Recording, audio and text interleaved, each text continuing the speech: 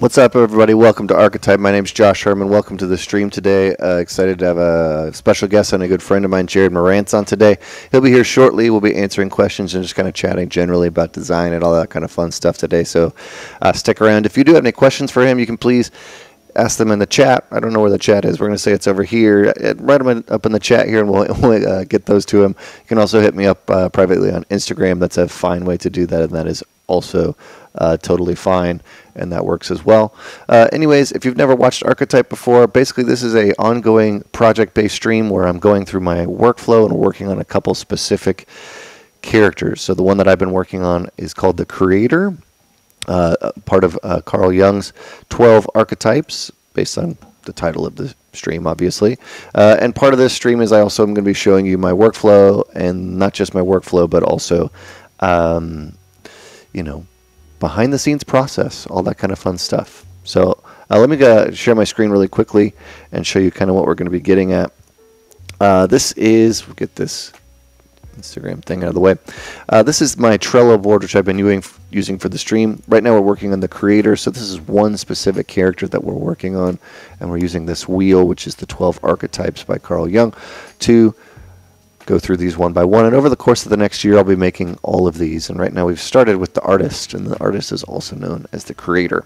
So we're going to get a little bit of this into this a little bit later, just generally talking about design as well with Jerad and kind of having some fun, and also get you up to speed on where we are in the project right now.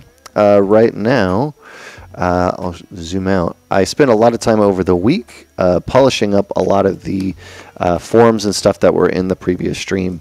So uh, what you'll get to see is a lot of the design. There's two overlaid right now, so let me hide that. All of these individual pieces now have been uh, basically what I did last stream. So I ended up polygrouping them or cutting them apart, and each one of these is going to just kind of go through them all here. Uh, is now polygrouped and is nicely polished, and I've been slowly breaking it down to look a little bit more and more final. Uh, we will do a little. We will be bouncing back and forth today. We'll be going into ZBrush. We'll be going into Marmoset Toolbag as well, which is where I'll be rendering, and we'll be going into Quixel probably a little bit to get into some texturing and rendering stuff. Uh, I did end up blocking out some of the lighting. I'm just kind of playing around with it. You can see I actually posed uh, a scan here so we can get into a little bit of what this kind of character is looking like or will look like. And I'm just experimenting right now and playing with lighting. And I'm gonna today we're gonna spend a lot of time talking about mood and composition and all that kind of fun stuff. So if you have any questions along the way, uh, please feel free to ask, and we'll get to those as we kind of move forward. But this is where we are. So right now we're kind of beginning to block out our composition. We're beginning to block out a little bit of everything, really. Um, been playing around with the new Marmoset Toolbag 4. There's a lot of cool things in here. There's a bunch of preset materials and stuff like that. So we'll get into that. But before I bring on Jerad, I'm going to play you all one quick video, which is basically catching you up to speed on the process that I wasn't able to do on stream. So I did uh, record that and just did a quick narration so we get you up to speed. It's about four minutes long. So we'll play that. Afterwards, we'll introduce Jerad. Here we go. All right, so here we are. This is going to be our polish phase or one of our refinement phases, I guess essentially what we're doing here is we're continuing what we did last stream. So those darkened sections in the middle, of those Z tools you can see that are disappearing right now, uh, those are what we did last stream. So we need basically need to do that now to the entire rest of the model. I'm only really going to focus on the pieces here that are going to be uh, front and center. If they're out on the side, or maybe they're a background or a detail piece, I'll probably just sculpt it in and maybe fill it with some texture. But I do want to have these ones that are right in the middle that are going to be the focal point be, you know, have more detail on them and just generally look better. So those are all the ones I'm isolating right now.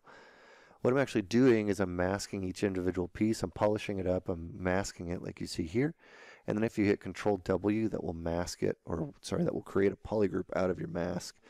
And then I can quickly use the backpack that we created last week on stream, which is basically a quick pop-up menu that has all the buttons we need to hide that. And then uh, as soon as we get that, you can see all of those right there uh, when, when, it was kind of flashing different colors. That's all of those polygroups that we've created. So now what we're going to do is we're going to separate that as soon as we make these last pieces here.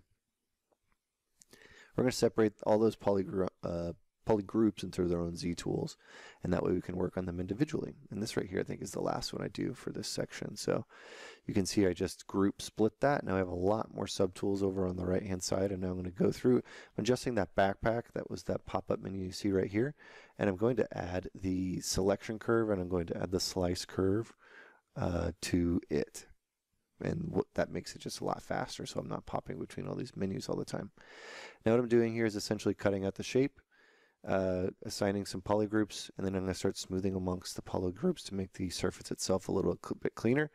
Uh, I'm playing around with some techniques here of smoothing using the smooth groups, the smooth stronger, uh, H polish, and you'll see that I kind of get into a flow, but this is the first piece that I, I uh, am using with this kind of new workflow. So here you're going to see a, a lot of this. It's going to kind of rinse and repeat, and I'm not going to show you the entire section of that because frankly it'd be pretty boring. But I'm basically adding some polygroups here, uh, and then whenever I'm smoothing, I'm, using a lot of smooth by polygroups to help refine those shapes. But basically just cutting out all of the noise, making it its own each unique piece. This one was giving me some troubles. It actually has a, an error in the middle, which you'll see, and I had some trouble. What I end up doing to fix that is I just pull all those polygons to one side and then I just mirror and weld it, which is what you get here. So I'm going to finish up this last piece and then I'm going to go ahead and start getting into adding some panels and thickness on the rest of them.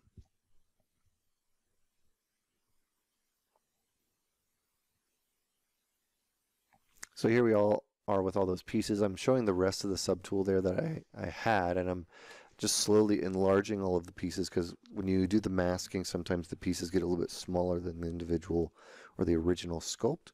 So I'm just kind of dragging it to be back to the original shape.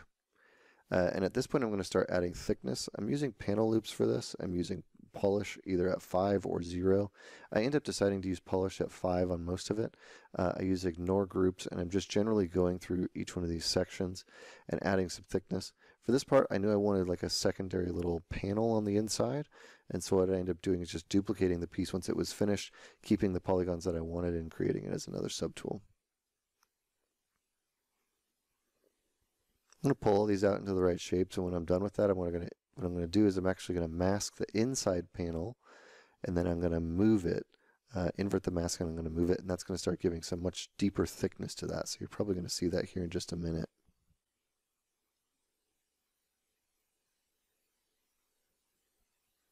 There it is. This is where I start pulling out the inside of that. And now you can see I'm actually creating a thickness to it. And that way it doesn't feel like a bunch of origami or paper, paper craft where all the, the uh, surfaces are really thin. Uh, so at this point now we're basically just refining the design and we're getting back to the initial sculpt but with more polygons. So uh, let's see how that looks. Oh, look at that. We're back. Hello, everybody. Hope you're all doing well. That was, that was five hours or three hours and four, four minutes. So congratulations on being in a time loop or whatever you would call that. Uh, basically, what you see there is where we are now. I ended up just having a ZBrush crash while that was happening, so I'm just going to take a second to get my ZBrush back up. And I, uh, Jerad is also here, so he'll be joining us in just a minute. Uh, I did one quick thing before we get into that. Uh, download a bunch of models from 3D Scan Store uh, and have been using those and actually replaced the the body that I was using in here. And for some reason, I keep having this weird crash where if I export the OBJ with the texture map on, I think it's a 16K by 16K 32-bit texture, it it crashes. So I turn this off or just turn this off and uh, then I can export this.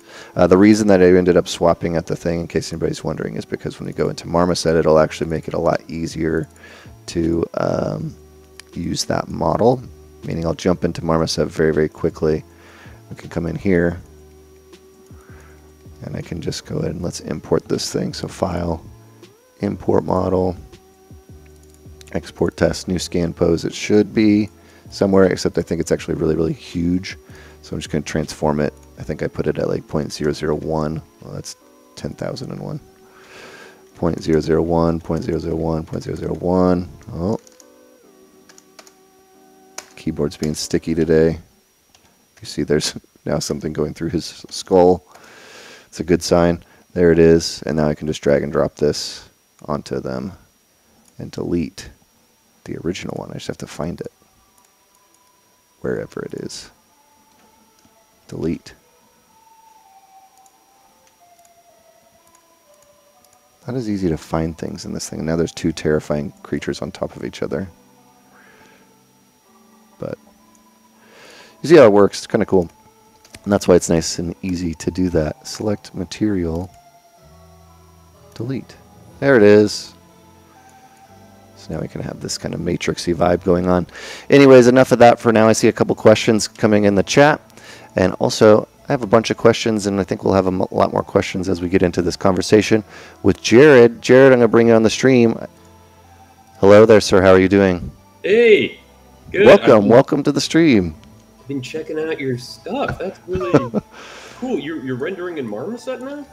I'm going to try it. Yeah, this is my first actually second project ever using it, but I think that the the lighting is really cool. They just reintroduced or added ray tracing, mm-hmm. uh, and they also just added a bunch of default materials like Keyshot has. So uh, it's pretty cool. Like you can, if you have um, what is it, your camera, you can just turn on depth of field in your camera, which is pretty easy. Obviously, Keyshot has this too, yeah. but I didn't know that all you have to do is middle mouse click and you can set the focus. So like if I'm zooming in on this thing, I can click on this and it'll be in focus, or I can just click on this and it'll be in focus. And then you can pretty quickly adjust like how. So it's kind of it's it's obviously more of like a game renderer or, or a real time renderer, but it makes it for a nice quick adjustment. So I'm gonna try it out at least. I never, I've only used it once before for a project, so I'm just experimenting with it. Yeah, can you get it on Mac? I think so. I think there was a download for Mac it has to be it has to be like rendering for dummies. Otherwise, I'm going to lose my. it's pretty good. Yeah, like very simple-minded people need to be able to use the program. That's why I love Keyshot. So yeah, it's just it's, it's just done. Um, it's so simple. I can't, I can't, figure out the material tree to save my life in in, in Keyshot.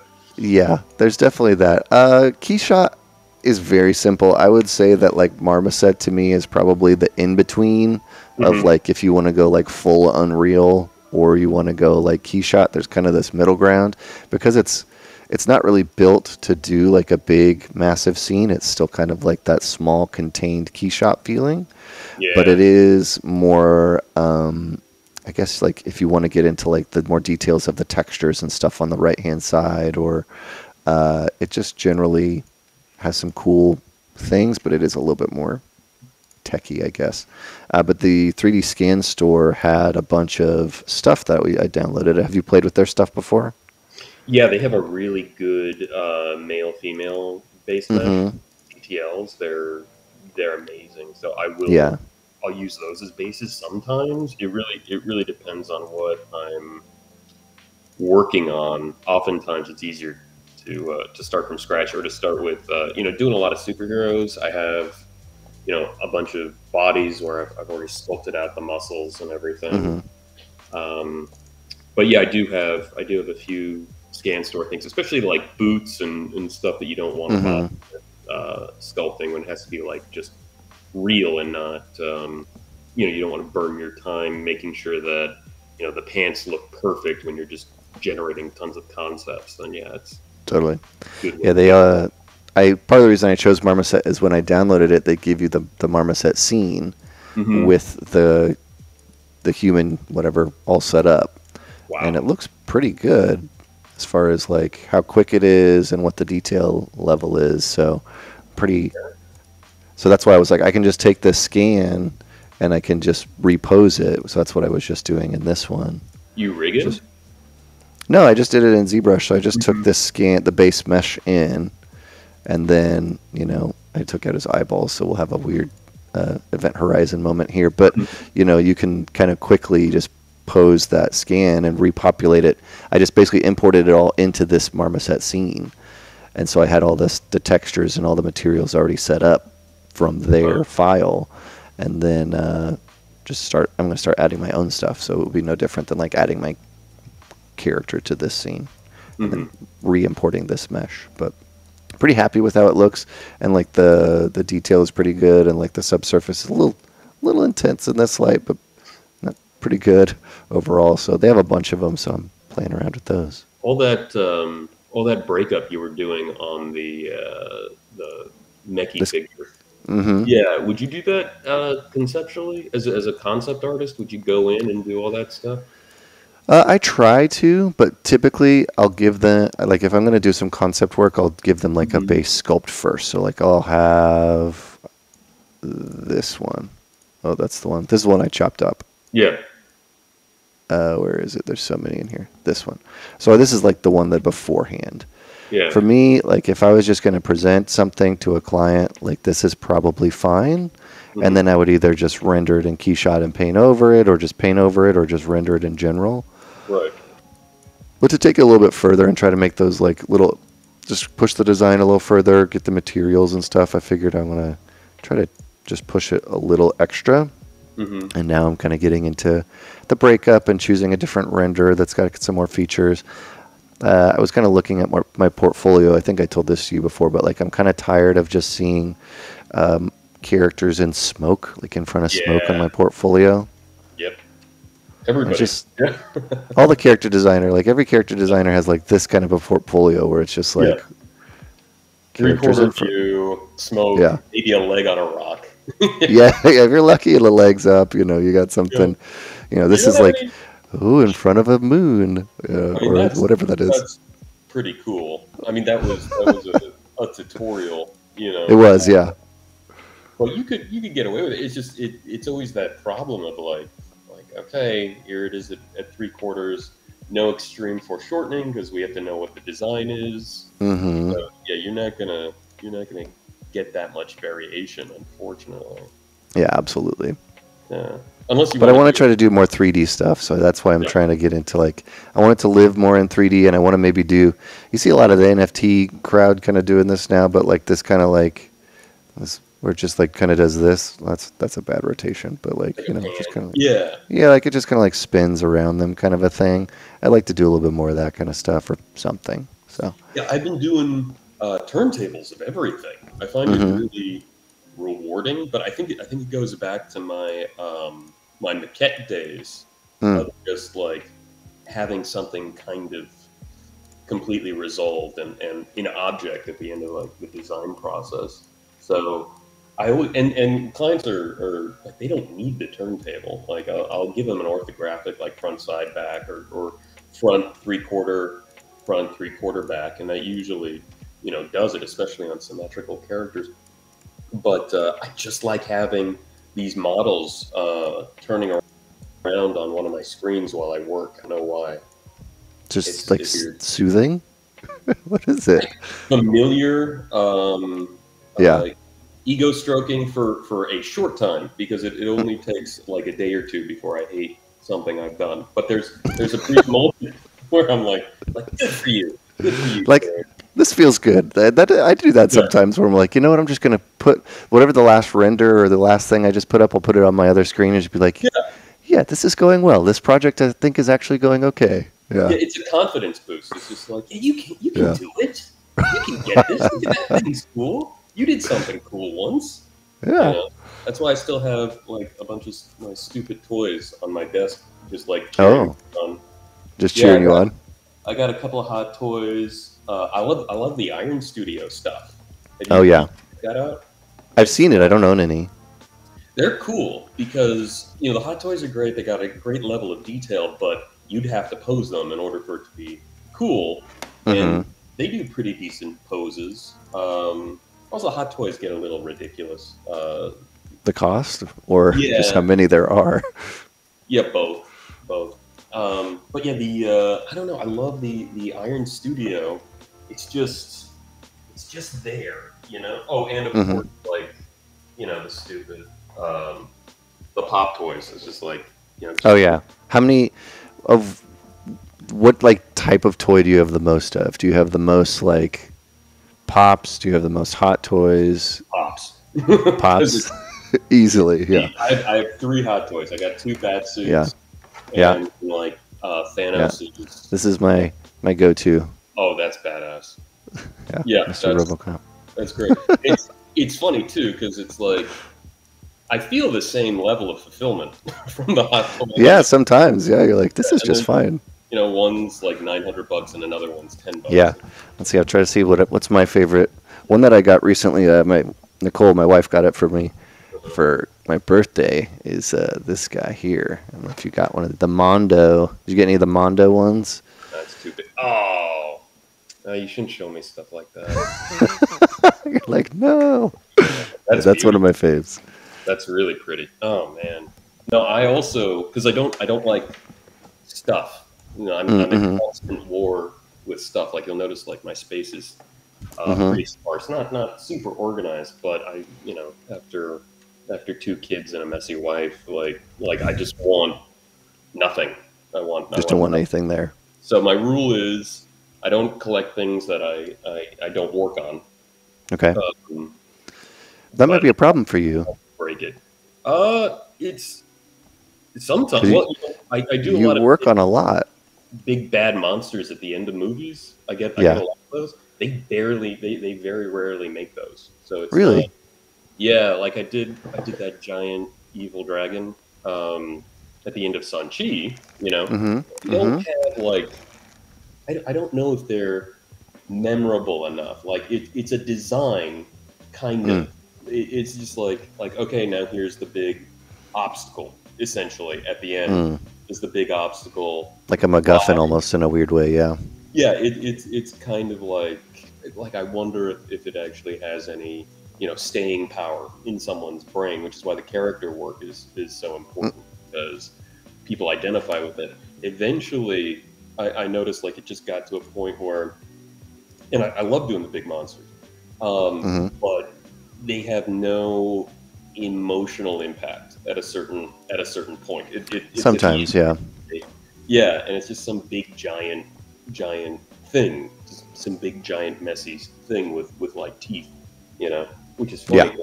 You know, they labor over it all the time, but you can really tell what has the staying power because they won't even bother, you know, putting it on a T-shirt or uh, or making.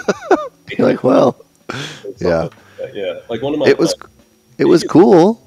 It was a cool design. yeah, it was fun. It was scary too. I'm surprised they let me hmm get away with it. Um, Yeah. didn't think I'd, I'd, I'd get that through. But yeah, memorable. I you know not sure, not sure. It's always the characters always beat you know the big monsters. What do you think is the most memorable monster? I feel like there's a couple most of us go to, but I'm curious what yours are. Oh, in general, oh, it's always Alien and Predator. Always Uh, Alien and Predator, right? Yeah. Yeah, and it, it's Alien because of course it was a unique design at the time. Actually, it wasn't a unique design at the time. I don't know how long Giger was was painting that guy before really Before was it like, finally came out. like, ah, let's put that in the movie because it existed before, you know, hmm the film, obviously, uh, and um, you know, it was shot so beautifully hmm that you know that that will always last. And then Predator, uh, because that's probably the best creature character ever. You know, Yeah. like like it's it's motivation, its emotion, everything read so clearly. Like its interaction with with like Schwarzenegger with Dutch in the film, like Mhm. looked at his eyes, and that's the only thing that was left popping through of the actor, and even that had contact lenses on it or sclera lenses hmm you knew what he was saying, you knew what he was thinking. That's hard to beat. I cannot think of. Uh, Yeah, creature character is very specific because I think you know, like you're saying, like doing a big monster where it doesn't really have motivation. It doesn't even like seem sentient sometimes. Right. It's just It's like different. to attack and be a threat. Like that's Yeah, yeah. like you, you very rarely see giant monsters with uh, emotional range. It's just you know Mhm. attack, attack, attack, attack. Be be an obstacle. You know, get in the way of our heroes. hmm Um, it- it's a blast. You know, it's really Mhm. fun. But yeah, the honest, you know, part of it is that uh, you know I, I don't I don't know if it serves another purpose. You know, like when when it has a big monster, you know, at the end of the film, really affected people. I'm not. I'm not. Maybe Jaws. Yeah. Jaws isn't really a monster, but it's just like Yeah. an enlarged animal. But Yeah. I think Jaws is probably the one where people that like really freaked out people because of like swimming. Yeah, and the anticipation of it, Yeah. you know, the score and everything. But again, it's not. It, it's a real shark. At the end of it, it's a slightly larger real shark. Like Shark. I'm sure there have been sharks that that large. So this this process you're doing here with Mhm. all the, the panels and everything, I do something kind of like that. Well, conceptually, so I like. I'll try to get as much as I can out of out of one piece, and then I'll extract um, key pieces. You know, that Mhm. I, I really need to refine, and then once I do an extraction, I might ZRemesh it and then clip edges and stuff like that. It's probably not as clean as what you're doing. Yeah, this is kind of a new endeavor for me to try to go a little bit cleaner. I've Isn't seen a lot of build an Iron Man suit. Isn't that like your same? Sort of. I used to do it like this, but I didn't do it all in in uh, ZBrush. I would do a block out sometimes, or one of, whether it was Phil or Ryan or Andy, Andy or whoever was. If they did a 3D block out, I would take theirs, and then I would basically build it on top of that or in place of that. hmm Um, so kind of, but I'm trying to do more ZBrush, like staying in ZBrush stuff, because I find that I'm like poly grouping and Yeah. loops. a lot of polygroups and a lot of panel loops. I ended up last stream. I actually ended up making a little pop up. Do you use any of these? No, no, but I, I customize my my interface quite a bit. Like all of my brushes are on the bottom of my screen. I got all of my like I fill up all the all the edges with stuff. Yeah, I just I, I we had um, Marco Plouffe from Keos Masons on a Hmm. couple months ago, and he was doing some stuff, and so I'm kind of mimicking his process because I like how they have they do cool design work, but it's all three like there in 3D, and that's kind of where I'm like I want to try to do some stuff like that. Do aliens count as monsters? Is a question from the chat. Do aliens count as monsters, Jerad? I'd say it falls under the, everything falls under creature, like non non human. You know, it's just it's just all creature. It depends. Um, I guess I guess it also depends on your uh, beliefs, like if it's um, if aliens are fiction or a real Or real? Yeah, Yeah. you know, then it's not it's not essentially. Well, I guess it would still be creature design. I'm not I'm not quite sure. Good question uh, though. yeah, there's a little philosophy to it, but sure, yeah, that's um, It yeah, could alien- be. aliens are fun. I think um, I think people tend to. look, So I, I think creature design is often isolated to uh, very recognizable elements. You know what I mean? Mhm. Like like creature design might be, you know, something in, in like like a world where a fox and an armadillo, you know, mated and, and, and created something like, uh, or you know, very like Terryl Whitlatch. Sure. Like, when I think creature design, you know, I think I think that where it's your Right. references are very grounded and and you know you're kind of playing God essentially. But Mm-hmm. um, yeah, it's hard to to refer to just making monsters as uh, as creature design at times because um, you know sometimes I'm a lot of times I'm not even using reference, so I'm just like Mm. playing around with like shape and taking my understanding of uh, anatomy and making it work. You know what I mean? Right. But you should always use reference. Um, Yeah, yeah. It's definitely a bad habit sometimes where I'm like, I should be using reference on this, but I'm not. Yeah. And then you especially especially when you get away with it. Yeah. Like, uh, Yeah, that's actually the worst. yeah. Because like, it, like reinforces the bad habit. You're like, well, Yeah, it's it's all right. Terrible. Um, but you know, after after years of using reference, um, you won't be that that far off. You know, it's it's especially amongst you know mammals. It's all the same mechanics. So honestly, if you understand human anatomy and you spend a little bit of time studying animal anatomy uh, amongst mammals, like you figure out how the machine works and, Mhm. and what visually makes sense. And at a certain point, you can make anything make sense. Uh, well, one of the things that I, I realized a long time ago was that uh, proportions are more important than anatomy Mm-hmm. to uh, creature design, meaning like an arm can be long, but there has to be enough meat connecting it to a sturdy enough torso so that you believe that the rest of the body can carry that arm. So Mhm. it, um, it's proportions, then you can justify it with anatomy, especially if you know a character or creature is um, is not governed by you know physics. If it doesn't have to be a guy in a suit, you know. what I Right, mean? absolutely. It could be something different. Yeah. So yeah, proportions, priority one. Uh, anatomy is, is second to that. A lot of people, a lot of people get that wrong. Yeah, somebody that actually, I was shocked to hear this in, in an older interview, but it was basically a, a Jack Kirby interview. Oh where yeah, He was saying that like his anatomy was basically totally made up.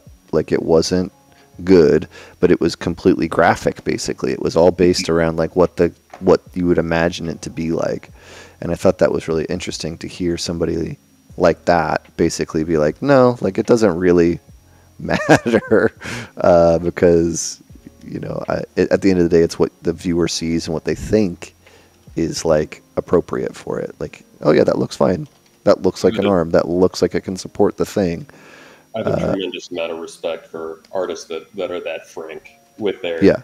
with their process. I, I, I developed um, an intolerance or quite quite the pet peeve for uh, artists who spend the majority of their uh, interviews just inflating their own ego and Mm. talking about how amazing they are. It's uh, it's it does it does annoy me a bit. So for, so for him, especially someone as accomplished, to be that um, hmm that honest is It's just interesting because it's like you know, at the end of the day, it's it's the viewer needs to see something interesting to them, and that Yep. doesn't necessarily mean that it needs to be like purely academically, anatomically accurate. Not at all. Yeah, I'd have to go through his work and, and like look for anomalies. Like, oh, that doesn't. It's not supposed to be there. I think it's just more graphic. Like I think he didn't care about like this is where all the the specific muscles go. It's more Yeah. just like These are your is a- landmarks. yeah, I'm hitting the big Yeah. ones, and you can make up the rest.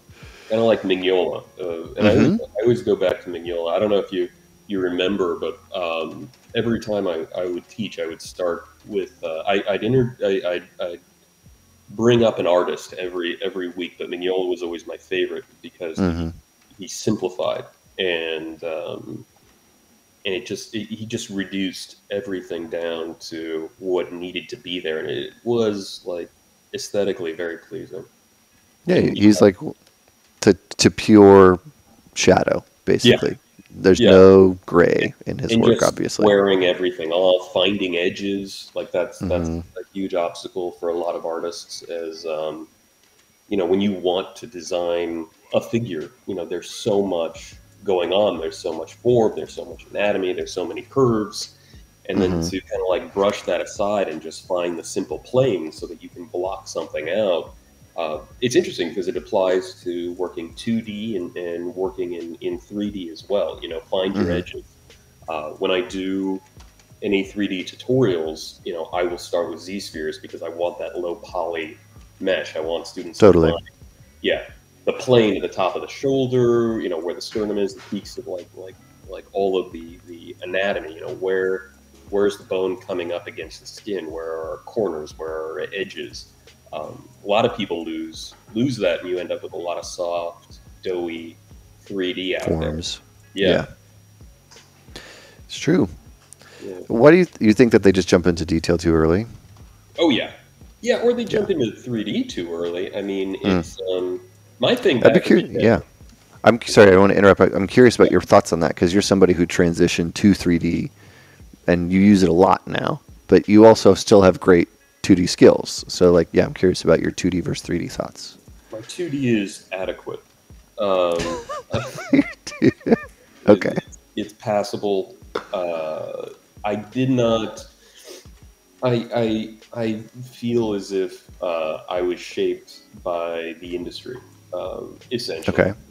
But most of my experience is is in you know dimensional art. Uh, you know, when I started off, I was doing maquettes Mhm. uh, when I was a kid, you know, and um, you know, I mentioned it before. I thought I thought I was a big deal uh, doing that because I I, um, I got great results in a short amount of time, and I was actually you know I was able to get an internship when I was a kid at a practical effects house.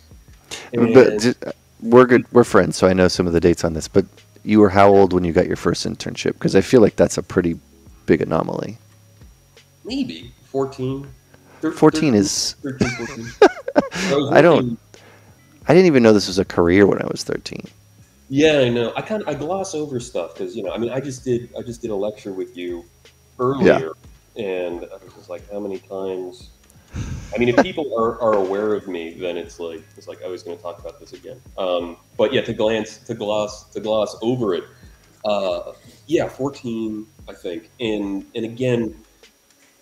Uh, make no mistake, I, I got in everybody's way. I was I was a pain in the ass. I was a kid. Uh, I helped minimally, um, but I did not benefit that production. Yeah, I just imagine them being like, "Oh, we made such a big mistake, but Yeah. we can't fire this 14-year-old." Yeah, he'll Like- cry. I mean, That's probably true. Yeah. yeah, I look I look back at it, and and it, it's funny how like as you age, your your uh, impression of those times changes. And it's like I remember, you know, in my twenties, I was like, yeah, I was in there, and I was I was helping hmm them sculpt, and I was helping them making molds. Was doing a lot. I was doing a lot, and then you know you get a couple of years older, and it's just like, well, they're kind of patient. And then now, now Yeah. Like, why didn't they just kick me out? I got in the way. I dropped Yeah. a big prop. I remember I shattered, I shattered a giant blow dryer. Uh, Oh, really? I was making out of foam. Yeah, he gave me very, very, very simple instructions. They're carving stuff out of foam and then um, uh, covering it in fiberglass. Because you know, it's just Yeah. this fast, fast thing. They needed all these like giant props, and I had, I had one, I had one job, and it was just to hold this these pieces together while the glue cu- cured. And like, Okay. guy- the, the thing was as big as me at 14. So all I Yeah. had to do is keep my hand here Hey, kid, just hold this. Yeah. just hold that. Yeah. And, and for some reason, I thought, I thought, oh, is that does this does this look off? Maybe if I stand back from it for a second, Oh no. maybe I'll be able to give you know this seasoned professional some you know much needed feedback from this past uh, kid. And uh, Yeah. yeah, I, I, I, just take a step back, and of course, in slow motion, and wind out of nowhere. It's like middle of summer, Of course. Yeah. until that moment, just and it crashes and the pieces break. Oh and- no. That should have been it. They should have fired my ass. Um, But they didn't. point. I think I don't know. They were like, ah, give the sad kid another chance. Like, well, he can't hold anything. Let's Yeah, just, uh, give him a broom. and yeah, uh, you know, him, just make him, sculpt something, and it's not going to be in the film. Just let it get him. yeah, just- just give him some play, put him in a corner, let him feel important. And That's we'll just run out the amazing. He's got to go back to school, you know, at some time. At some point, at some point, he has to go back to school. Yeah. That's probably true, though. At a certain point. Oh, there's Uh, some. There's, there's. I would say this is this is in the '90s in terms of like accuracy of like this Mhm. kid who just got in the way. It was incredibly valuable to me, and um, Oh, I'm sure. Yeah, no, because I thought I thought I wanted to do everything, and then you know I'm around all of these like like chemicals. They're sculpting and they're they're they're putting guys in suits. They're they're making molds. I got to, to help out. I got to be, I got to not be a huge burden on a couple of, of you know molds and, and stuff. And I, I learned the process, and that was enough to make me realize that I only cared. Um, I was only passionate about about Mhm. design. So I knocked that out in the summer, and going through college, I've seen I've seen guys, you know, think they want to be toy sculptors, and then Mhm. hit the industry and learn the hard way that they don't they don't want to do that for a living, and um, now they got to figure out a new way to pay off their mountain of, of student debt. Of debt. Yeah. hmm So yeah, no, I, I got I got very lucky. Yeah. And, uh, Absolutely. I mean, that's and you were at Stan's, like for your that was your first Out of Internship. college, yeah, not uh, college. Yeah, no, it wasn't an internship. Oh, okay. They're paying me to draw, which was that was that was validating. No, this the when I was a kid, uh, it was a it was a studio in Van Nuys called Soda Effects, Okay. and they did like Wishmaster two and Oh, music Wishmaster. videos. I was doing Disney Channel stuff with them. Mhm. Um, they were doing Disney Channel stuff around me, and I got in the way. I want to I want to be very clear. Right. Those I think that's very clear. No delusions of grandeur. Yeah, because I've, I've gone, you know, as I as I've said before, like, no, I was I was a big help. And no, Yeah, not definitely not. not even a little bit. Like I I'm, you know, I'm of age, and I'm just like, man, if there was some 14 year old kid In my way. messing with my stuff, I like Yeah. to think I, I. So now I like I have to be at least that cool. Oh, That's amazing. We had a couple questions that have come in. Uh, one is from Adam. He says, "Is there a major difference in the way you approach character slash costume versus creature, or is it pretty much the same?" Uh, the the process has become similar. The, the design mentality is different. Um, Hmm. uh, well, okay, you're either you're either building something, you're either designing something that's going to be practical, or you're designing something that's going to be CG. The process isn't that different. So you know, um, a lot of it is determined by the client. So Mhm. if I'm working with a client that can read 2D, that they can they they want drawings or they can accept drawings or they can they can understand and connect the dots from a drawing, um, then I will I will draw for them for a while. Um, but the the one continuous trend, and so I guess it's not a trend, is that people want resolved images uh, in the initial passes. So uh, if it's a creature design, I can build something um, pretty resolved in a day or 2 Mhm. Mhm. Um, for a costume, costumes take a little longer to figure out because Why is that? if it's practical, then you got to make sure it works and that it functions. Um, Mm. uh, and of course, you know, it depends on, on the, the costume as well. Creatures, you know, you're just you're just playing in the anatomy pool, and um, you know you can you can make that that work pretty quickly. Hard surface obviously takes longer. I've got some tricks for that. There's there are a few Mhm. tricks you taught me that I, that I still use. That um, Oh, I don't Yeah, remember which tricks I taught you. yeah, one only no. The single trick I taught you is still relevant. That's good. No, there is one I use a lot. I remember. So you were watching me do a costume on. I think it was. It it had to have been Guardian. Guardians, yeah. Yeah, and I was I was doing it all by masking out shapes and then inverting the mask and then pulling like shoulder pads or, or Yep. you know floral pieces, whatever. And and you told me it was like, oh, you can just paint that, you know, and then mask by intensity and pull out that way. hmm And so I've been doing that, but I've also been doing that in uh, values of gray. Oh, interesting. Yeah. So I, I, you know, I started with with you know that trick, and then somehow I, I figured out that that oh, if I put a lighter gray next to a black and I inflate, the black lifts further than the the medium gray, and so I ended up I do a lot of hard surface that way now. Cool. So it's like it's like a high res mesh, and um, yeah, I can just I can just paint my forms, and so you have to actually think like an alpha maker, um, but you're Hmm. actually working on the model. So it's like okay, my, my furthest plate is going to be black. If I need a lower step, then it's you know a medium gray. If I need it not to move, it's going to be white. Um, so that that's a process I use. Anyways, costumes, creatures, um, process. So yeah, the process for costumes, you know, they're just it's not blue sky. It's never it's never Mhm. remotely blue sky. I don't think anything technically is blue sky, but it's especially not blue sky with um, costumes. It's got to fit the actor. Um, if it's a superhero suit, then you got the actor, you got the muscle suit, and then you got fabric and fabricated pieces on top of it. Mhm. So you're dealing with with more limitations, and uh, yeah, it just takes a little bit more time. Um, if I'm on a show by myself and they Mhm. want me to figure out the costume, then I might you know build the model and then do a bunch of paint overs. If Mm-hmm. uh, I'm, you know, at Marvel where they've got a bunch of us on a costume, uh, then I'll probably put all of my eggs in in one basket and I'll do one or two very resolved models because there are a bunch of other artists that are on it and um, they're going to get a bunch of options that way. They're not relying on it entirely from me. I'm curious about that. So, like, if you're you're working in a bigger group where everybody's kind of working on the same, your philosophy might be to just, I guess, for lack of a better term, put more eggs in the basket Yeah, and resolve one more.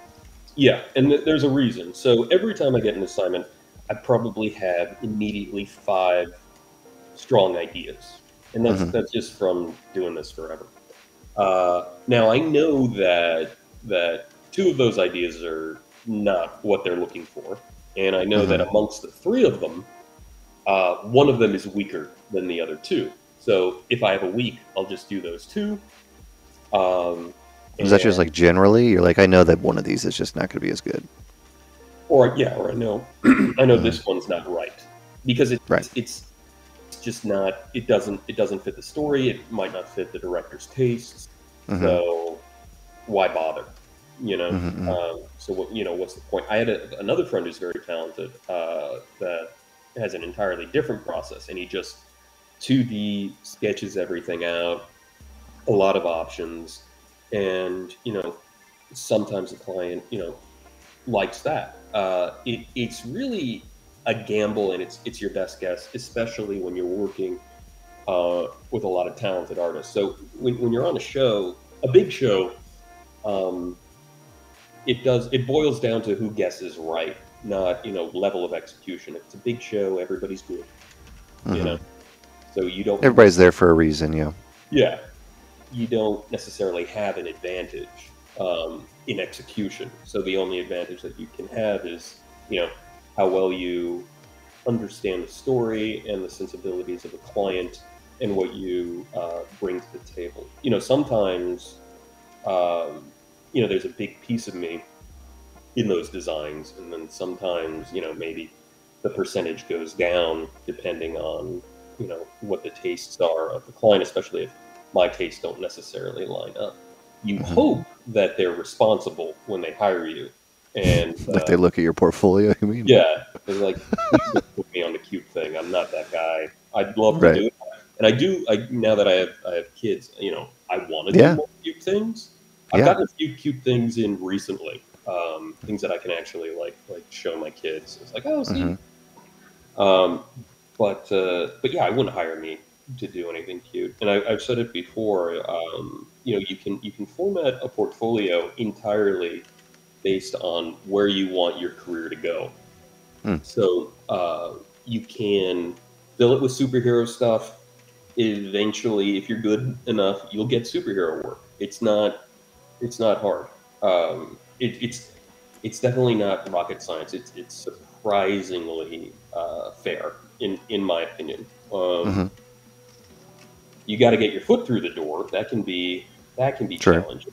But when in doubt, if you ever hit an obstacle, uh, work on your book, work Hmm. work on your portfolio. You can take a lot of responsibility for your career um, just by putting that work out there. Um, I love that. I, I love that about about our job. You know, I think I Mhm. think that's great, especially guys who have already broke through. And it's it's not that hard, in my opinion, to break through if you have an incredible, eh, if you have a good portfolio. Good portfolio. It- it- yeah, it's it's the combination of like, okay, where's your portfolio at, and how much are you asking for, and what is the what what is what is the project need, like like budget wise, like most you know the majority of projects can't afford us, so Right. they, they have to get somebody.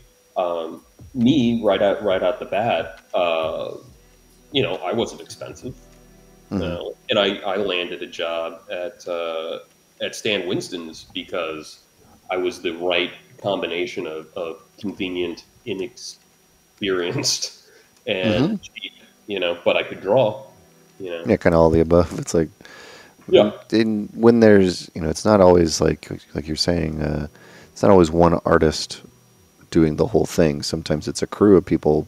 Yeah. So, you know, if you're a business, you got to try to do, you know, sometimes you have one person that you're saying like this is our elite rock star person, and then, then somebody else is going to be a couple juniors, and we're going to fill it out, and maybe they'll do something good, and so like it's just kind of you got to you can't not everybody can you know pay the 10 out of 10 cost for every designer for every artist you got to Yeah. budget your your production. So You got to make a profit. Yeah. and that's that's where you get in. I was like, oh, you can make money off of me, and and the way I was Right. utilized, uh, you know, I was brainstorm guy. Uh, Mm, They brought me in. They uh, they put me on a drafting table, and I just generated tons and tons of sketches. And you know, people who knew uh, 3D software and who knew Photoshop better than me at the time uh, would you know flesh out those ideas if they got if they got approved. You know, so yeah, it wasn't you to finalize them. You were the idea person. yeah, that's it. And I, I was that I was that for a long time until Mhm. uh, yeah, my turning point was was when you know um, you know it's the ego. My, my signature would get would go away. you know, I'd, I'd figure it all out, and someone would model it out and tighten it up, and then you know was like my name's not on that, and so I you know Anymore, that yeah. And so figured out ZBrush, figured out you know different techniques in in Photoshop. So yeah, in many ways, you know, just formed by the industry. You know, hmm that's how it happened. I like just talking to you because it doesn't. doesn't give you a lot of things.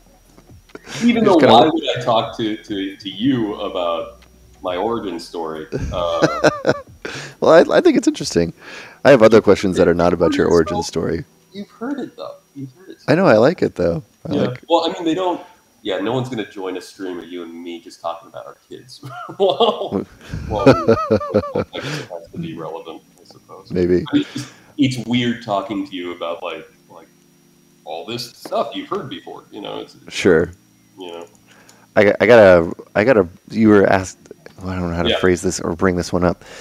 I have a theory about you. From a viewer. Okay. No, this is my theory. This is Josh's theory. Oh, really? Okay. Yeah. How? I'm gonna, I'm gonna make this as like a change my mind kind of thing. Okay.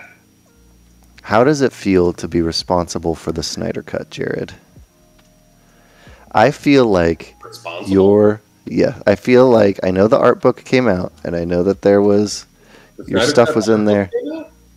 I think I don't remember, but this the, the basically yeah, Justice League comes out and Yeah. you ended up posting your work and I think there was eventually somehow the Steppenwolf and the Darkseid stuff all got out, which was not in the original movie. And I think that the Steppenwolf stuff that came out lit a flame under like so many people because they knew that it could have been better, but there was nothing that they could like latch on to to be like Mhm. this see it clearly could have been better. Yes. And as soon as I think they saw your Steppenwolf and they're like, see, this is what it should have been. This is what it should have been all along. I feel like that was one of their like like their rallying cries to get behind Snyder Cut It's an interesting. theory. It is Yeah, a well, theory. Well, it's not. I'm not anywhere near as ballsy as that. So if you look at. I'm like, no, I I didn't. Yeah, if you look at the uh, the concept art book, right? Of, of Right. So, um, Step my Steppenwolf is in there, kind of. So Mhm. It's you like the I- standing one that's doing the. yeah, yeah. I don't Yeah, know yeah. they they did the the revised horn pattern. Um, Mhm. the, the the the axe axe horns. Um, But uh, yeah, my Steppenwolf art is in the book. It was just cut and pasted into keyframes. Mhm. So Okay. you know, I was annoyed that they, you know, obviously that they that there was a big redesign of the character. Um, but you know, I had you know like Christian Lorenz uh, Scheurer, very talented um, Mhm. uh, keyframe artist. Like he cut and pasted my guy in a couple of his scenes, and I'm just like, well, if he can show it, you know, why Then I can show it. Yeah. So I, you know, Yeah. I put it out there, and then no one said anything. So I'm like, well, screw it. Okay. I got these other horns better. I'm not sure. The other horns might show. I'm gonna get the book. All right, I'll be back. Oh, I just, oh, I just hit expose and my model exploded. Hang on, there we go. Oh, okay. Here. We're good. Yeah, let's find the book. I again, it's a theory. I just think it's really interesting that being a friend of yours and a viewer You um, of and, and a big comic book fan in general, and knowing that it, it had been changed, yeah. I just remember seeing comic book sites and stuff being like, "Look how much better Steppenwolf could have been," and just people being like, "Yeah, Maybe. I mean, I, I like to. Well, I, I don't know. I, I feel I've gotten I've gotten to a point in my career where I'm very comfortable with my insignificance. Um, which I think- so you don't want to say too much." Yeah, so I don't I don't I don't know because you know you start off and and you know you're getting stuff Sure. approved and you're just like I'm a big deal and then you know you realize you do a couple of movies where you're proud of the work and the movie's not very good and no one cares about your work. yeah, Um, that's a that's a weird feeling. Yeah, but it, it does it does definitely put you in your place. It's like okay, this is definitely a team effort, especially in terms of like like whether or not it's success. Uh, that's I'm a small part of that. So that's what I mean by comfortable with you know my my insignificance, which is Sure. it's a nicer place to live. In all honesty, Okay. to, to Yeah, that's probably like, fair. Like like to think that that oh this is all on me. so this No, I know. I'm obviously messing with Yeah. you a little bit, but I think that there's No. there's probably some truth in there. There has to be some. Some of it, yeah. I mean, you know, you gotta sell sell some action figures and, and stuff. But um, it, it it helps if it's a good design. I've seen Uh-huh. instances where it's a crap design, um, Right. but the writing and the acting is amazing. Then suddenly it elevates the design to Yeah. know, a new level, and you know, vice versa. I've seen I've seen great designs and movies. It just doesn't hit marks with the audience Yeah. and you don't uh, they don't care no matter how Yeah. good it is they just don't care so i think i think over time getting getting older and and seeing um, how you really fit in the equation uh, relieves a little bit of pressure not a lot of pressure like it's still you still want everything It's to be still there, yeah. best you can you can make it.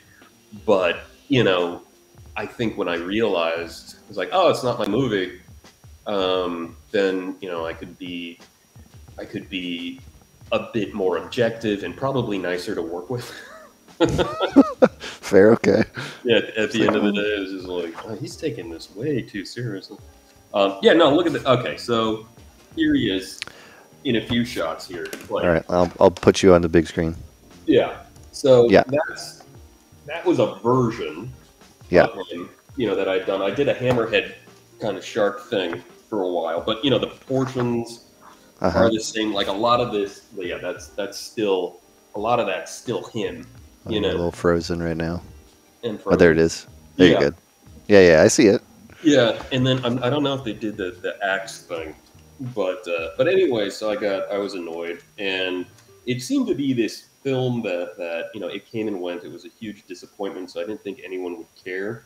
Honestly, if I put if I put the rest of it, Mm-hmm. Just put your there. work out there. Yeah. Yeah, I mean, obviously there are a lot of things I didn't post. Like I never posted Kilowog, I never posted Sure. Darkseid, I never posted Darkseid.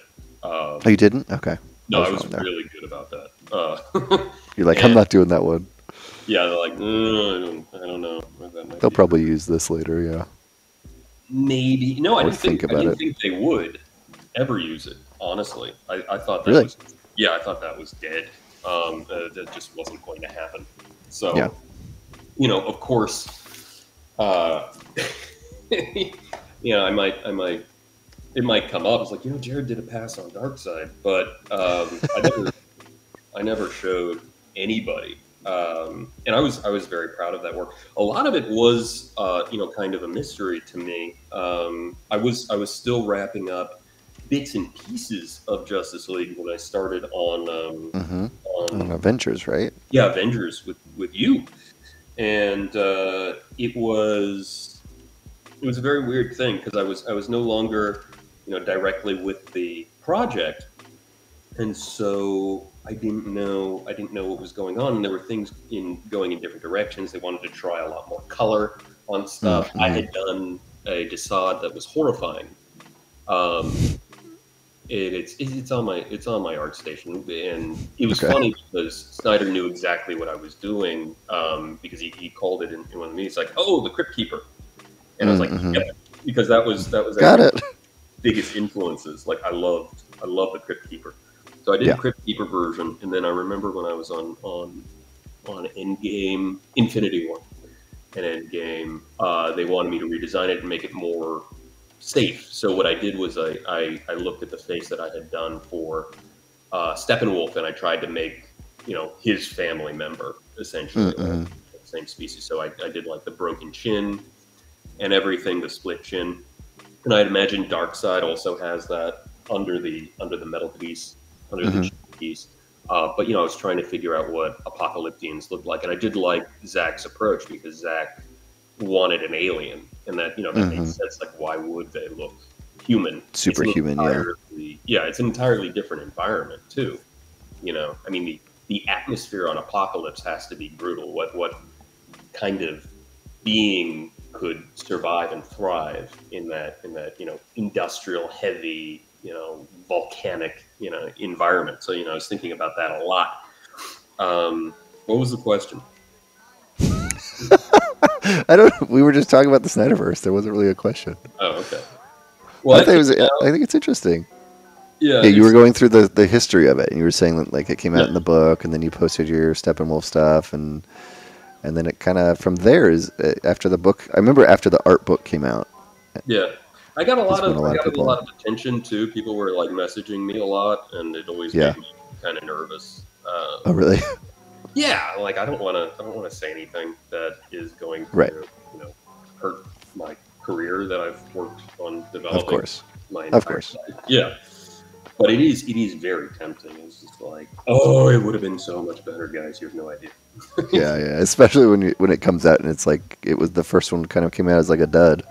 Yeah It's like, well, this was biggest- supposed to be like the big thing. yeah it was big, biggest disappointment of my uh, career at the time and Yeah. i hurt i hurt myself on that project i mean not oh, not physically, but like like I pushed myself as Pretty far far. as I could go. You know, I, I grew as as an artist on that show. I was suddenly um, I was taking on things that I didn't know I could do just because I love the character so much. Like they gave me Cyborg, and I, I never did a mech anything. Yeah. really. Uh, and I just had to I just had to figure it out. Um, and uh, yeah, there were a lot of new tricks I was teaching myself. I don't think I took my 3D that far prior to Justice League, and Mhm. then um, then that that went over on uh, on Infinity War and Endgame, and and that was my process there. Uh, yeah. I remember that being the first time looking at your work and be like, oh, you pushed this further than you normally did. The yeah. specifically the the Batman suits. I remember those going much further than I had seen you do costume work before. yeah, I built all of that, um, and that was that was a labor of love. Like I really forced myself um, to push further. I think I think they resculpted all of it. I don't know if they grew any of those parts. There's a there's an incredible team over in the in the UK. At Ironhead, or was it a different shop? UK. No, that Justice League was was was the UK. A guy named Pierre and his team. Um, I, I still love those guys. Uh, Brooke Dibble, Andrew Hodgson, and uh, Mark Trunk. Trunk. Hmm. Trunk. Mhm.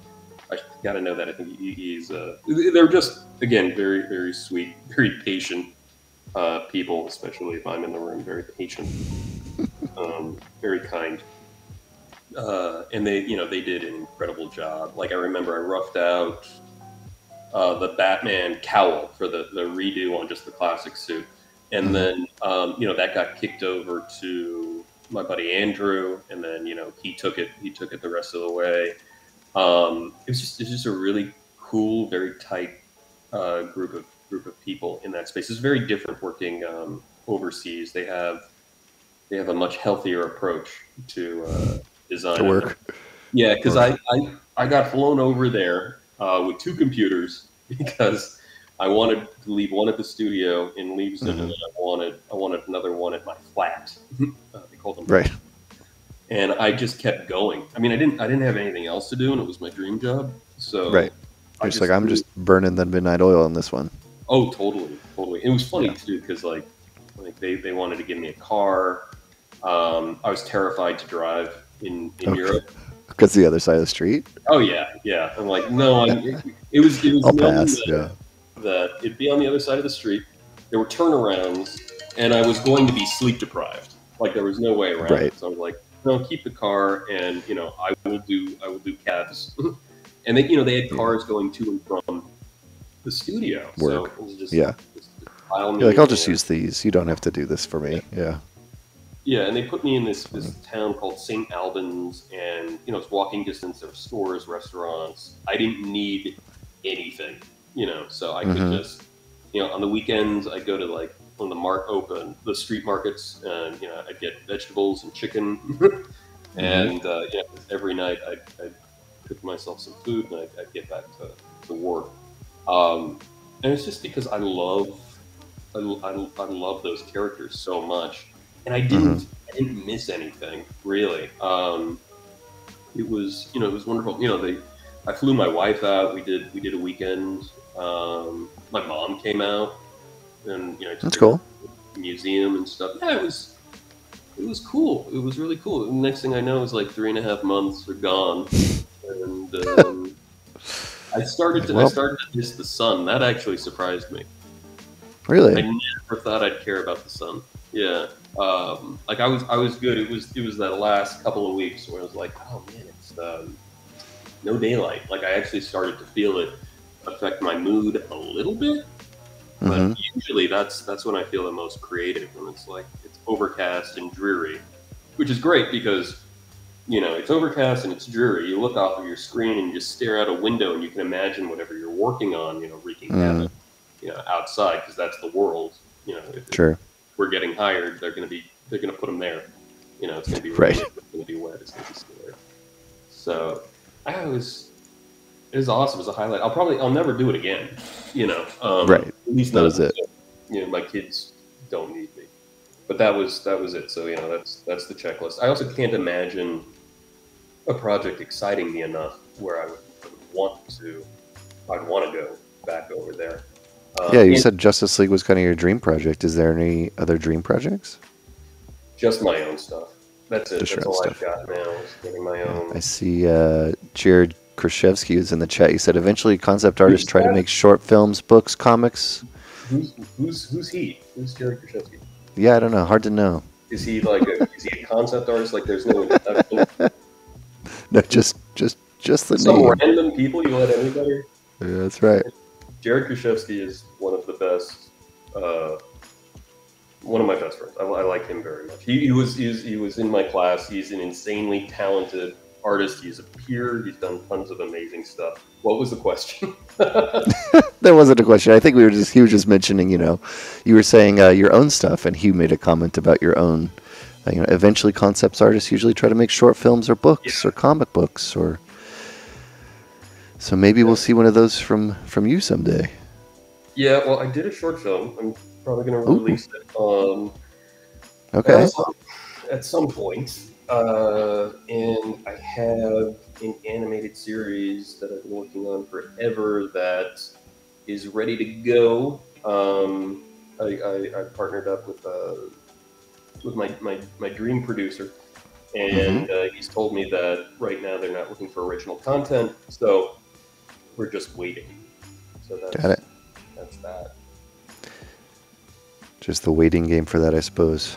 Yeah, I'm sure Krichevsky's got to have stuff too uh, that he's, he's ready to go. His his, uh, his wife Jackie is a producer. hmm I'm sure I'm sure he's working on his own thing. I hope so. I mean, he's doing he's doing some really cool stuff on like on like big movies, but Yeah.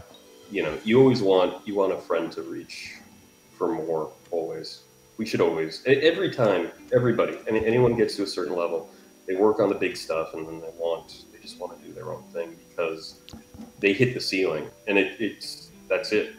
You know, unless you want to be a production designer, um, there's got to be there's got to be something else. Yeah, that's why you start doing your own stuff. Yeah. Well, I've always I've always done my own stuff. Um, my portfolio was filled with you know original stuff um, back in the day, and that's that's how I got work. Um, but I don't know if you could do that today. I guess as long as the stuff was was good, you'd be fine. Yeah, for like an inter, like for a beginner, what kind of what do you recommend for their portfolio? Uh, like like I Somebody said, just trying to get in. yeah, design a portfolio based off of the kind of career you want to have. Um, so, you know, if you want, honestly, just look at anybody who is doing what you want to do and check those boxes. So, if you wanted to do what I do for a living, um, you know, get some superheroes in there, get a lot of monsters, get a lot of creatures in your portfolio, and you know, do the day job, go home, and keep pumping stuff out um, because you'll never be paid to do something that you haven't proven that you do well, especially in the beginning. Um, mm. and as a working professional, that might happen just simply because you're on the payroll and they don't want to look for someone else. You know, like I've, I've recently done, I'm doing weapons now for some reason. Like, why am I doing weapons? Um, but I'm, I can do it adequately. like mm-hmm. I'm okay at it. I'm getting the job done, and they don't have to deal with you know hiring someone new and doing doing paperwork, so they're happy. Yeah, it makes it makes it easy for everybody, right? And eventually, you get a little bit more range. Soon, you'll be doing weapons for everything. I'm sure. Because mm. I feel like once you do like one, like, yeah. like you did like one superhero suit or one suit, and then all of a sudden it's like, oh, you can do superheroes. Yeah. You can do suits. Yeah you just you break through and and you know that's it. But if you know you have a portfolio full of that stuff, you're good. Starting out today, uh, like I don't I don't know. Yeah, I mean you would have to find a way to stand out. That would hmm. be that would be difficult. Um, uh, you could easily get in contact with anybody that you True. want, uh, you know, to work with. It's so easy. I respond to uh, the majority of of, um, of random emails, um, just mm-hmm. because I've, I've been very lucky in the past. Uh, but all these professionals are just like a keyboard away. It's nuts. Um, Especially like post pandemic, I think everybody's so used to just communicating virtually. It's like if you were were serious and had a good portfolio and really wanted to like, you know, get some good tips from somebody, I don't I don't know too many people who would turn you down for the 15, 30 minute Zoom just to yeah. like meet them or even just an email. Yeah, like back break. and forth exchange.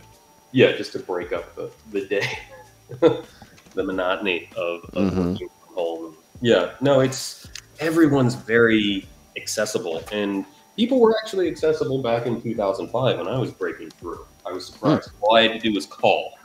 It's absurd. It's it's like one of those things you never even think of. How do I get how do I get a job at these studios? How do you do it? And I was like, oh, I just call them. that might work. Just just give them a call. Yeah, and I mean, I had no problem getting through at Stan Winston's. I had no problems getting through at uh, at Rick Baker's. It was just like that's funny. Like someone picked up the phone. You know, um, yeah. Rick Baker at the time. Uh, you know, he didn't have a creature show, so okay you know, that that ended that. And then Stan was like, you know, hey, come on in. Of course, I invited myself in. I was just like, hey, I just graduated yeah. from art here. I love what you guys do. Uh, when can I come by and show you my work? Which is very presumptuous, but it doesn't. It was yeah, it doesn't right really give them another option. yeah. yeah, you hope you hope they fall for it, and they, they fall for it. And I've, I've said it before, like um, like uh, you know, I got I got through the door because I told them I just graduated from art center, so at the very least I could draw. Um, mm-hmm. I just graduated, so I'm affordable, uh, and you know, stop by might imply that I'm local. Mm-hmm. So you know, cheap, capable uh, artist. Let's see what he what he has. You know, so it was surprisingly easy back then. You want human interaction because. Uh, mm-hmm it's so easy to dismiss a um, an email. It's so easy. Absolutely. JPEG. It takes it takes nothing. So if you can try to find that that that way of, of human interaction, it gets so much easier um, when your work is good. So if you're struggling with the human interaction, build up your portfolio, make that better, and it will get easier. Mm-hmm. Uh, it really it really depends on how far you push yourself and how badly you want it. Because everybody, it seems like a lot of people want it now. And and when I started off, it wasn't even a well-known career path. Now it's very well. It's true. Yeah, Yeah. it's definitely far more. The awareness of it is way, way, way higher. Yeah, Got a gu- bunch of people in the chat. We got uh, Justin Fields is here. Oh, Justin. Uh, I think that's da- David Alexander's here, and I see somebody says hi to Jared from an old student. Ciao, Francesco Lorenzetti is here. So a bunch of people saying hi to you. I miss my. bunch of Gnomon alums and such. It's cool. Hello, everybody. Hope you're all doing well. I miss teaching. When was the last time you taught in person? Obviously, You. a while ago. With me? No, no way. It was after me. It was funny. No, the, no, the lecture I did with. with oh yeah, yeah. I meant like like structured long course, not like a like day thing. I don't know. A while ago. Um, well, Gnomon. I did Gnomon and CDA for like a decade. yeah. and that was that was incredibly rewarding. Um, and I don't know when I stopped. I don't even. I, I, I feel like it's been been like ten. A little while. Yeah, I don't. I don't know. I don't know because I was I was still. You're doing it a lot. I feel like together. What? you were doing it a lot when you were Yeah. doing it. Yeah. Yeah, Gnomon, I taught two classes, and then on the weekend, and then I, I also I taught two classes in Gnomon, I think on Sunday, and then on Saturday I taught one class at Concept Design Academy. hmm Yeah, I I really enjoyed it. Uh, teaching is pretty rewarding. It forces you to really understand your process because you have to you have to break it down and you have to make it digestible. Um, it's uh, it was it was cool. I mean, I it, it's it's very weird too. Like I, I I work now with so many of my my past students. Mhm. Um, I don't take credit uh, for their work or or Mhm. it, it, it's like them. You mean like as like a, Yeah. a mentor? Yeah, yeah. Yeah, I mean, it. I don't think I've never had a student that surprised me. You know, if they didn't have uh, a skill level, I, I saw an ambition that that you know I would suspect could take them further. Mhm. Um, which you know lets me to believe that okay, you know, I could give them some advice and maybe steer Just- a little bit, but you know, it's it's on them. You know, I, I think yeah, yeah. anyone looking for a instructor or a teacher to make them a phenomenal artist that's a that's not that's not how it works Right. Uh, like i they can be there to help you answer questions and you know yeah guide you along the path, but they're not going to make you the. yeah you're not They, they don't do the work for you. yeah i'm not going to give you a work ethic i'm not going to um, i'm not i'm not going to hold your hand you know through you know a hard job or anything like that. Like it's it's it's not possible. So i'm i'm proud of my time as as, as a teacher and i hope that i've, I've helped people but i you can't really take credit uh, for much. And, and and i've realized that because like you know i've had i've had teachers as well and i was just like okay well i mean nothing they told me uh, you know turn flip that switch and it was like like Mm. now i'm a concept artist. It's like no i was obsessed with this and I, I always did this and i would have gotten you know here with or or without them you know? Hmm so it's yeah it, it, it's a weird thing. I think i'm just grateful that uh, i could i could help influence and and participate in in someone's you know journey hopefully be a you know a positive influence maybe even at times open open a door or two but even if you open a door i'm like you know people could trip and, and fall like it's not that's not that's not enough you know Right. uh, it has it has it has very little to do with with my ability as an educator. You know, one's one success. At the end of the day, I mean, all I don't. them. Yeah. I don't. I don't think I ever saw the front of you in my class. Like, like you. no, I think it was. Yeah. the whole I- time, I- and you, you did. You, you did the work. You barely spoke. And then, and then I was a really like, bad student in your class. Were you? I was a Yeah. student, so it, that's hard for me. To, it would be. I remember I remember taking your class and being like, "This guy's really good. I don't really want to do this job though," because you were doing all 2D. Yeah, Because yeah. it it was initially 2D, and I was like, "Oh, like like this is like cool. I'm learning like design theory, and this is interesting." Mm-hmm. And uh, it was also when Hong was partially teaching too. Well, that was a And so it was both of you. ago. That's a Yeah. super long time ago. Yeah, no, Yeah. I, I took, I took, uh, I took his second half. Yeah. yeah, And so it was you and him, and then he would teach some, and then I would teach some. But I was like, I just don't really want to be a concept designer at the time. I was like, I want to be a modeler.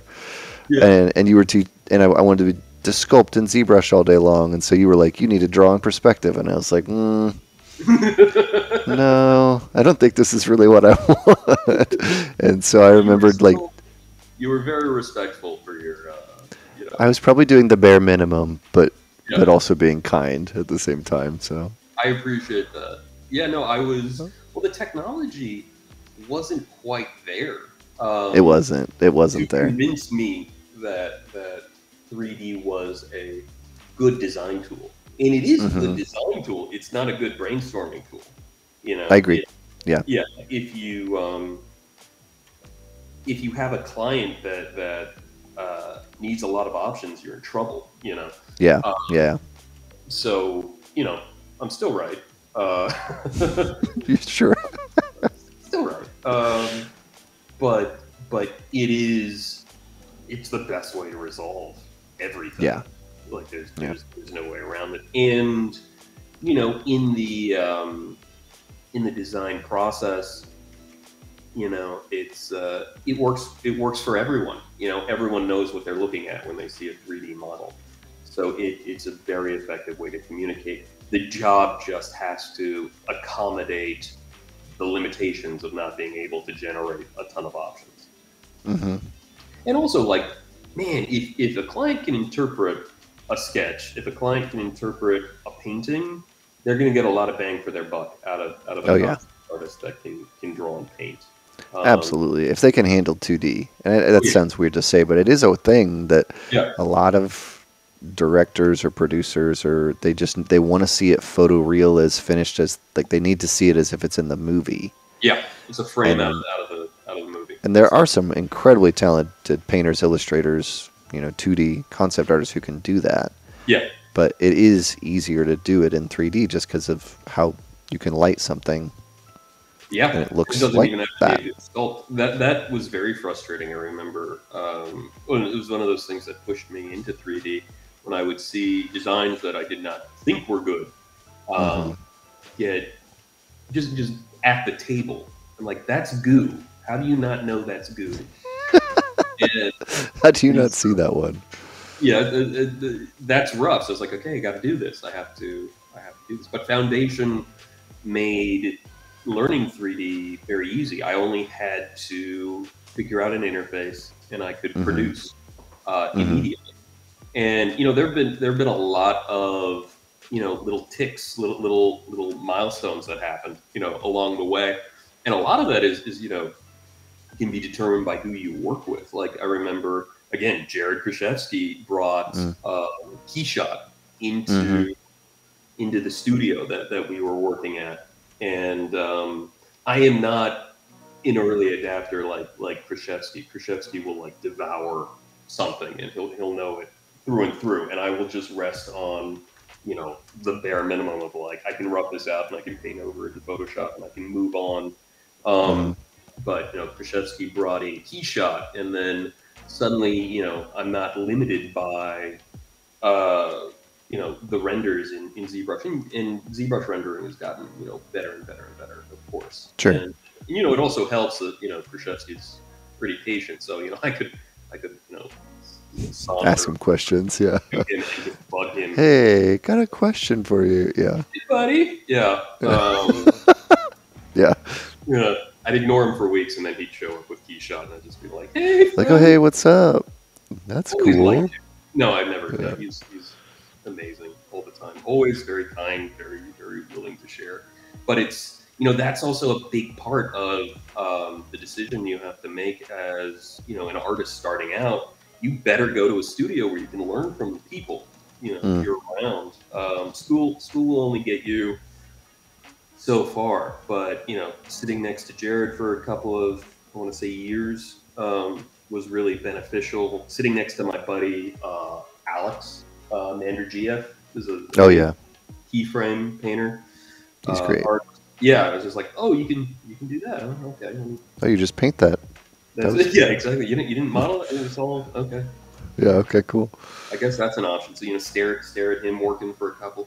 Um, you know, you you gave me a bunch of tricks, and it all like it just forms you over time. You know, my buddy uh, Tully, who uh, doesn't really you know do he, he doesn't really you know run to the spotlight. Uh, he's an amazing artist. I've sat next to him for a while, and it's just like anything I can't do, I can just knock on the cubicle. Like, buddy. Hey, do you have an idea how to do this thing? Yeah. My proudest moment, I helped him with something once in, in ZBrush. I don't remember what it was, but I remember making a point of it. It's like, I helped you? I was, I did It's official. Yeah, Yeah, I no, did this. know how to do that. This is one of my proudest days. I was just like, I knew something he didn't know. It was, it was incredible. That's always kind of cool though. Where you're like, oh, yeah. I this I've one that- moment. Yeah. I've been that for other people too. Like um, like my buddy Constantine, he he's you know longtime traditional artist. Like he used to work on you know drafting table with acrylics over at like Edge Effects back in the day, and he's, Mhm. work's phenomenal. Um, and then I remember you know I was getting into ZBrush. And perception is a really funny thing. Like I remember even my earlier pieces in ZBrush, artists were looking at who didn't who didn't do 3D. They, they thought I was cutting edge, which I thought was was really funny because I was doing like the bare minimum, lighting it in Photoshop, bringing it into into um, into into uh, Photoshop, lighting it in ZBrush, bringing it into Photoshop. I think I said it wrong. Anyways, um, so I would I would be the guy who he would ask a bunch of ZBrush questions, and then uh, he got he got pretty good at ZBrush. He was okay. There was always there were times when like I would talk to him about a thing, and I know I'd, I'd lose him. And then uh, I he started working over at Avatar, uh, on Avatar on the on the on the, uh, Mhm. the two sequels, and then suddenly like we're speaking the same language. He knows everything. Um, Crazy. Yeah, he even knew a few things I didn't like. It was just amazing. Like, wait, where'd you learn all these things? Yeah. yeah, and again, his foundation was amazing. So it didn't take him that long. It was just being in it Yeah. every every single day. So there's there's definitely something to be said for you know being in new environments and not being comfortable. hmm If you're not comfortable, you're going to grow. And Right. uh, I'm a little concerned about that. I've been comfortable for a very long time, and so it's I got to pick up a new program. I was uh, I was going back and forth with. There's an amazing artist on Instagram. I'm probably gonna butcher her name. Um, Just so you know, uh, none of it is in the chat. none of what is in the chat. None of it from Oh! the Gnomon student. Oh, Yeah, he's here. it's pronounced not He's saying wood. hi. I was. I don't. I don't actually know how to pronounce it. Yeah. I've always gone by the. He's a very here. talented guy. Yeah, he's uh, Mhm. he's a very talented dude. No, I've been bugging Vlad. How Vlada Haldkova. Uh, she's Okay. she's an amazing artist. I find I find so many amazing artists on on like Instagram, and her work her work Yeah. stood out because she, she can get like very scary.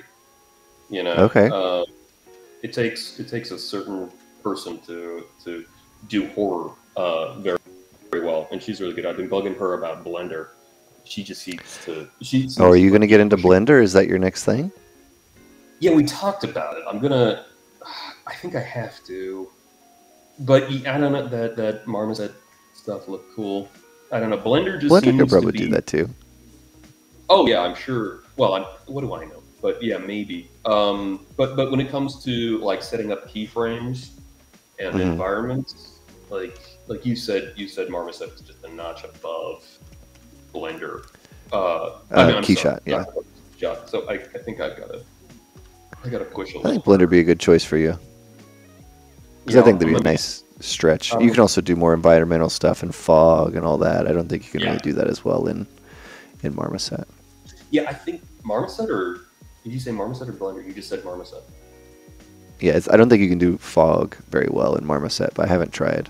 Yeah, I saw. Did you see uh, Andrew Domo Domachowski's? Uh, he has like a NVIDIA tutorial Hmm. uh, on like it, it's a it's a it's a woman on a bike done. It's like some cool dystopian piece, and he was he was blocking it out in blah blah blah. I, th- I think it was Blender. He was blocking out, and and Domo's Domo's a fun artist because Mhm. you know you, you look at his thumbnail and it's like oh you probably could have just kept going with the thumbnail and and got him. Um, Just kept does- working on that. Yeah, it was like like you know if he if he kept working on the thumbnail and and didn't do the 3D, it maybe would have been you know a notch less resolved than the than the Mhm. 3D. But he did get he did get some really cool results, and there was like like atmosphere plugins and stuff like that. He's a very talented guy. Um, I met him. He took he took my class, and of course, I take absolutely no credit. Um, he was he was pretty brilliant um, back then too. But uh, it does, you know, that that tutorial. You know, it's like, oh, I gotta I gotta do this. He draws he draws beautifully. Like his, his Mhm. character design is amazing stuff. Yeah, for sure. There's so many good. Everybody's good. It's a lot of good people out there now. Yeah, it's uh, be hard to fit, find a way to stand out. Uh, somebody was asking, who was that horror artist again? What was the name? Butcher it. You can type it in our Uh, private chat, and I'll get a link to it. Oh, okay. Yeah, Once you find good. Yeah, I'm just gonna. You were saying earlier about you know, sometimes like a bad design that's like just, but it's the movie makes it work. I feel Mhm. like horror, by like its nature, is kind of that. Like, there's been a lot of like what I would call like bad designs. Yeah, because in you can horror- just do a gooey, you know, bloody stuff and kind of get away with it. or even just like the original. i mean i think now it's iconic and it's interesting but at the time like michael myers Mm-hmm. like the design for michael myers is just a dude in a jumpsuit with a white william shatner mask Yep. like like that's not like a brilliantly thought out piece of design it's it's just but it works and now it's so Yeah. iconic and you're like well Yeah, but what makes it iconic? You know, Right. Um, what do you think makes it iconic well, yeah how it's shot. I think it's I think it's the shot. I think it's also just the there's so much of the the posture and the character, just like the Mhm. looming figure, like a faceless white faced mask, just like clearly not a person, but kind of a but per, there's a person in there. Yeah, it was like a shell hmm of a person. Um, yeah, and he, they, they tapped into something, you know, and, and it, it worked. But you know, it it was uh, it's just a well done film. So Mhm. it uh, it just goes to show is like you know some days you're you're you know designing you know some big monster dragon and some multi million dollar budget film and other days you're you're pulling a you know Shatner mask off the shelf and painting it white You're putting it white, yeah. yeah, and you're kicking that dragon's butt. So it uh, it really depends interesting. On, the, on the project. Yeah, I mean, I, I don't. I've never done a Michael Myers. I've never gotten that. I mean, it's also you know you have to be in the right Like situation. to be kind of lucky. Yeah, and also we're always going to be com- we're always going to be thinking about those films because they were the you know the earlier ones. Now everything is kind Yeah. of derivative, and it's just now now it's like okay, how well can you do something within the formula versus back then? You know, they're creating the formulas. They're, they were trying to, Right. figure and, and contribute to the genre. I'm trying to think of something groundbreaking uh, recently in film. A more recent groundbreaking thing. Yeah, like where- from a design standpoint. Hmm, design, maybe even just just a movie in general. Like like there's a lot of great movies, but you know, it it works well within the framework. Um, Oh, did I lose you? Oh, you cut your feet. Yeah, It I think. I'm back. within the within the framework of you know stuff that that already exists. So I'm trying to think of something. I thought Dune was great. Uh, we got a couple comments. So, uh, one, Dune was really good, but it's obviously built on a book too. Yeah, and Yeah. it's you know Lack of a better word, it's a Journey. remake. hero's journey again. You know, it's it's Beautiful film. I really liked it, but I, I don't know if it's super groundbreaking well, it's, in that way. it's not. It's just very well. Uh, I feel like the the more Sony animated projects like Spider Verse is probably one of the bigger ones to Visually, me. yeah, Visually, for sure, and even just the way that they, I mean, even their storytelling because the way that they tell that story, and they because they're so, they acknowledge that like nobody needs to hear another Spider-Man intro story. That you know that they kind of are with the times on that. hmm and now they introduce so many different types of characters and i thought that one was a really good one for a couple different reasons Yeah, Spider Verse was was great. I mean, I'm thinking of in terms of like breaking structure, like Memento. sure mm-hmm. did you watch did- what about tenet that was very different for me. It's- It's the backwards thing again. yeah uh, christopher nolan loves time Yeah, yeah. I think I think that's yeah. Tenet was good. I, I do. Yeah, I appreciate it. I don't know. I don't know. It's um. it is one of his movies that i watched i've watched it three times and every Okay. time i've watched it yeah i actually like it less even though all of his other movies any name any other nolan movie and if i watch it again i like it more than i liked it than i watched it the last time Inception lose its impact. No, I still like Inception because there's so many little callbacks. I guess I'll give it a shot. Uh, a chance. Prestige is incredible. Interstellar is incredible. All those movies are great. But uh, Tenet was one where he tried to do different things, and it for me it just didn't land. Uh, David was asking a, a really good question about going back to the um, the horror like Michael Myers.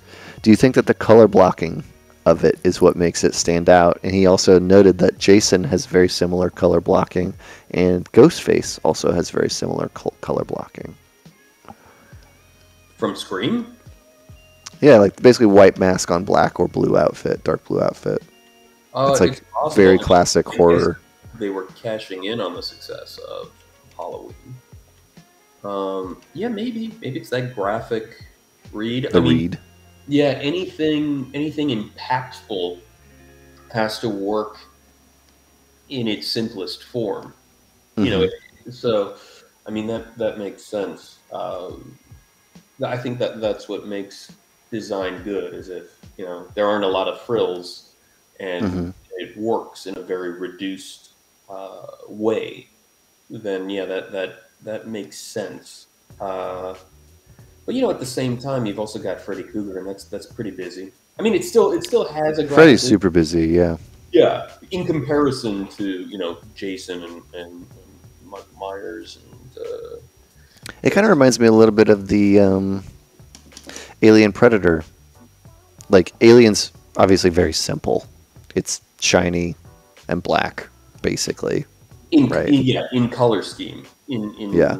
in form. No, it's, it's In form, it's very complicated. Yeah. yeah, but that's that's that's a great rule that, that you realize. Um, Mm-hmm. But if it's going to be that complicated, the paint scheme better be simple. And hmm Predator is, is uh, very simple, so his paint scheme is, is all over the place. Um, hmm You know, so that's that's that's a tried and true rule uh, that that works. You know, to this day very well. Yeah. What's Uh, like a a movie monster or character that you like, but is kind of um, it's not one that everybody thinks of. It's kind of a sleeper. Kind of goes under the radar, or more under the radar. Oh, I think there was there was a there was a weird mutant deer thing from a film called Ritual. Okay. if I have that if I have that right, and uh, that that didn't Ooh. get much buzz. There was uh, one of my favorite creature designs uh, is barely featured in in a Stephen King uh, movie called The Mist. Oh, okay. Yeah. So there was all the goofy stuff in the uh, in the store, but then Mhm. at the end, they're driving out, and there's this like giant huge, with, yeah, yeah, the, like, yeah, tentacles coming down. yeah. that The thing- Cthulhu look. Yeah, that thing blew me away, and this was this was a long time ago. Yeah, So that one, that one, really I like that one. Yeah, and it's very it's very obscure. Like it just it just shows the immensity of the of, of, these of these creatures. So yeah, that one that one really stuck, and I think you know you don't even see the design in its entirety, and uh, I think That's- part of the also- appeal. yes, yeah, a full a full reveal is is going to kill you. Um, it, it's it's going to hurt your design.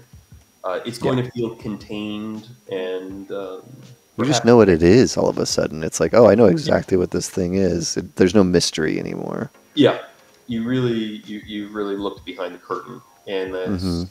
that can be a problem, um, especially for a character that needs to be, you know, massive.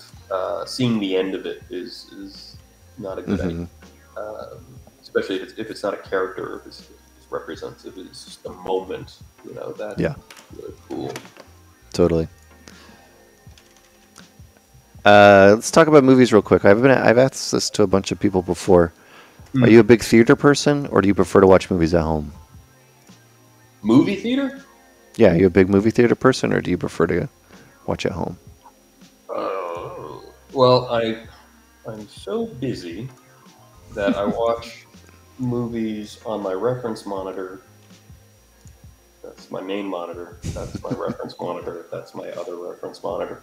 Um, while I'm working, so if it's really good, hmm uh, then I'll insist on watching it in theaters. If I'm in the theater, uh, I tend to get kind of anxious and, and look Mhm. at the people around me and hope they don't mess it up for me. Oh, really? Yeah, there's always I want I want people to not exist. Um, What is it that annoys you in a theater? Is it is it talking? Is it texting? Is it crunching? Is it all that. what is it? Everything. you know, Yeah. every everything because I, I really just want to uh, I just really want to pay attention to everything. My wife my wife loves people who get excited at you know in these event films, so she likes Yeah, like woo. and yeah. everything. and I just want I You're like shut up. what did he say? What did he say? You I couldn't hear him. Yeah. you had to hoot, and now now I don't know why he's doing what he's doing. yeah. It's Thanks. amazing. Thanks. Your your cheer was so important that we had to we had to miss out on the story. I hate it. That's usually Uh, my experience in, in, in films when they're when they're, they're noisy. And I know Question- you're supposed to enjoy that. Like um yeah. like I, I'd even if it was something I worked on, I'd I'd get super annoyed. Like I remember um, Oh, really? Yeah, and and you know I had to like like well that's a good thing. Um, but yeah, there were moments in like like remember when Captain America picks up that that hammer Uh and huh. he's gonna kick Thanos' ass. Yeah, course. I'm, you know, I'm in the theater, everyone's hollering. I'm just like shh. And, and, No, I uh, need to enjoy this moment. Yeah, it's like I, come on, I worked so hard, guys. And I need to um, enjoy this. Yeah. and and that was that was silly. Uh, yeah, no, I'm not I'm not a fun person, so it's it needs to be quiet, and everybody needs to just sit perfectly still, and That makes uh, sense. you know let me let me let me absorb. Yeah, you got to build yourself a home theater. Mm-hmm. Uh, for somebody who was asking in the chat if you wanted to watch the making of what I'm working on, there's this whole playlist on our YouTube page of of me basically going step by step. So you can watch episode one, two, and three. We're on episode four right now, so you can go check those out if you're interested. Uh, I'm interested. so if you are a, if you're in the movie theater, Mhm. what is your do you have a movie theater ritual? Do you have a candy that you always get? Do you have a drink that you always get? No, No. no, I uh, well, my wife. I guess my ritual is I go with my wife, um, Uh huh. and uh, uh, she likes raisinets, so I. Mhm. I guess I don't have a preference. Uh, Mhm. But I do take more most of her raisinets, so I eat I eat all of her. raisinets. And Okay. then, um, now she's into popcorn too, so I, I'll, I'll do the popcorn. Uh, Did my you ever rai- do the raisinets in the popcorn thing? No, is that a thing? Yes, I saw somebody do that once. I've never done it. I would, I would not do that. Um, but you know, each their own. I don't want to yuck someone's yum. But um, yeah, uh, that's now we, we used to really love going to the ArcLight. Uh, and now Yeah, we saw some movies with you guys. yeah, did we did hmm that weren't premieres? No, they weren't premieres at the ArcLight. They didn't have premieres at the ArcLight. Well, not for Right, us. right, right, right. We saw them at the El Cap and at the Dolby, I think, mostly. Oh. Um, We did go to the Chinese theater once, though, for a premiere. That was fun. yeah, they had a couple there for like crew. I think it was. Mm-hmm. They- yeah. Uh, no, we don't really have any. We used to go. We used to go all the time to uh, Yeah. the theaters, and then you know, trying to figure out like, like if she'll let me see something I like, or I have to let her see something she likes. But we we, we usually meet in the middle on a few. A Yeah. Um, I've worked on. I've, I've worked on a few things that are not. I've, I've worked on a lot of things that are not good. so, so you know, she's been with me. Yeah.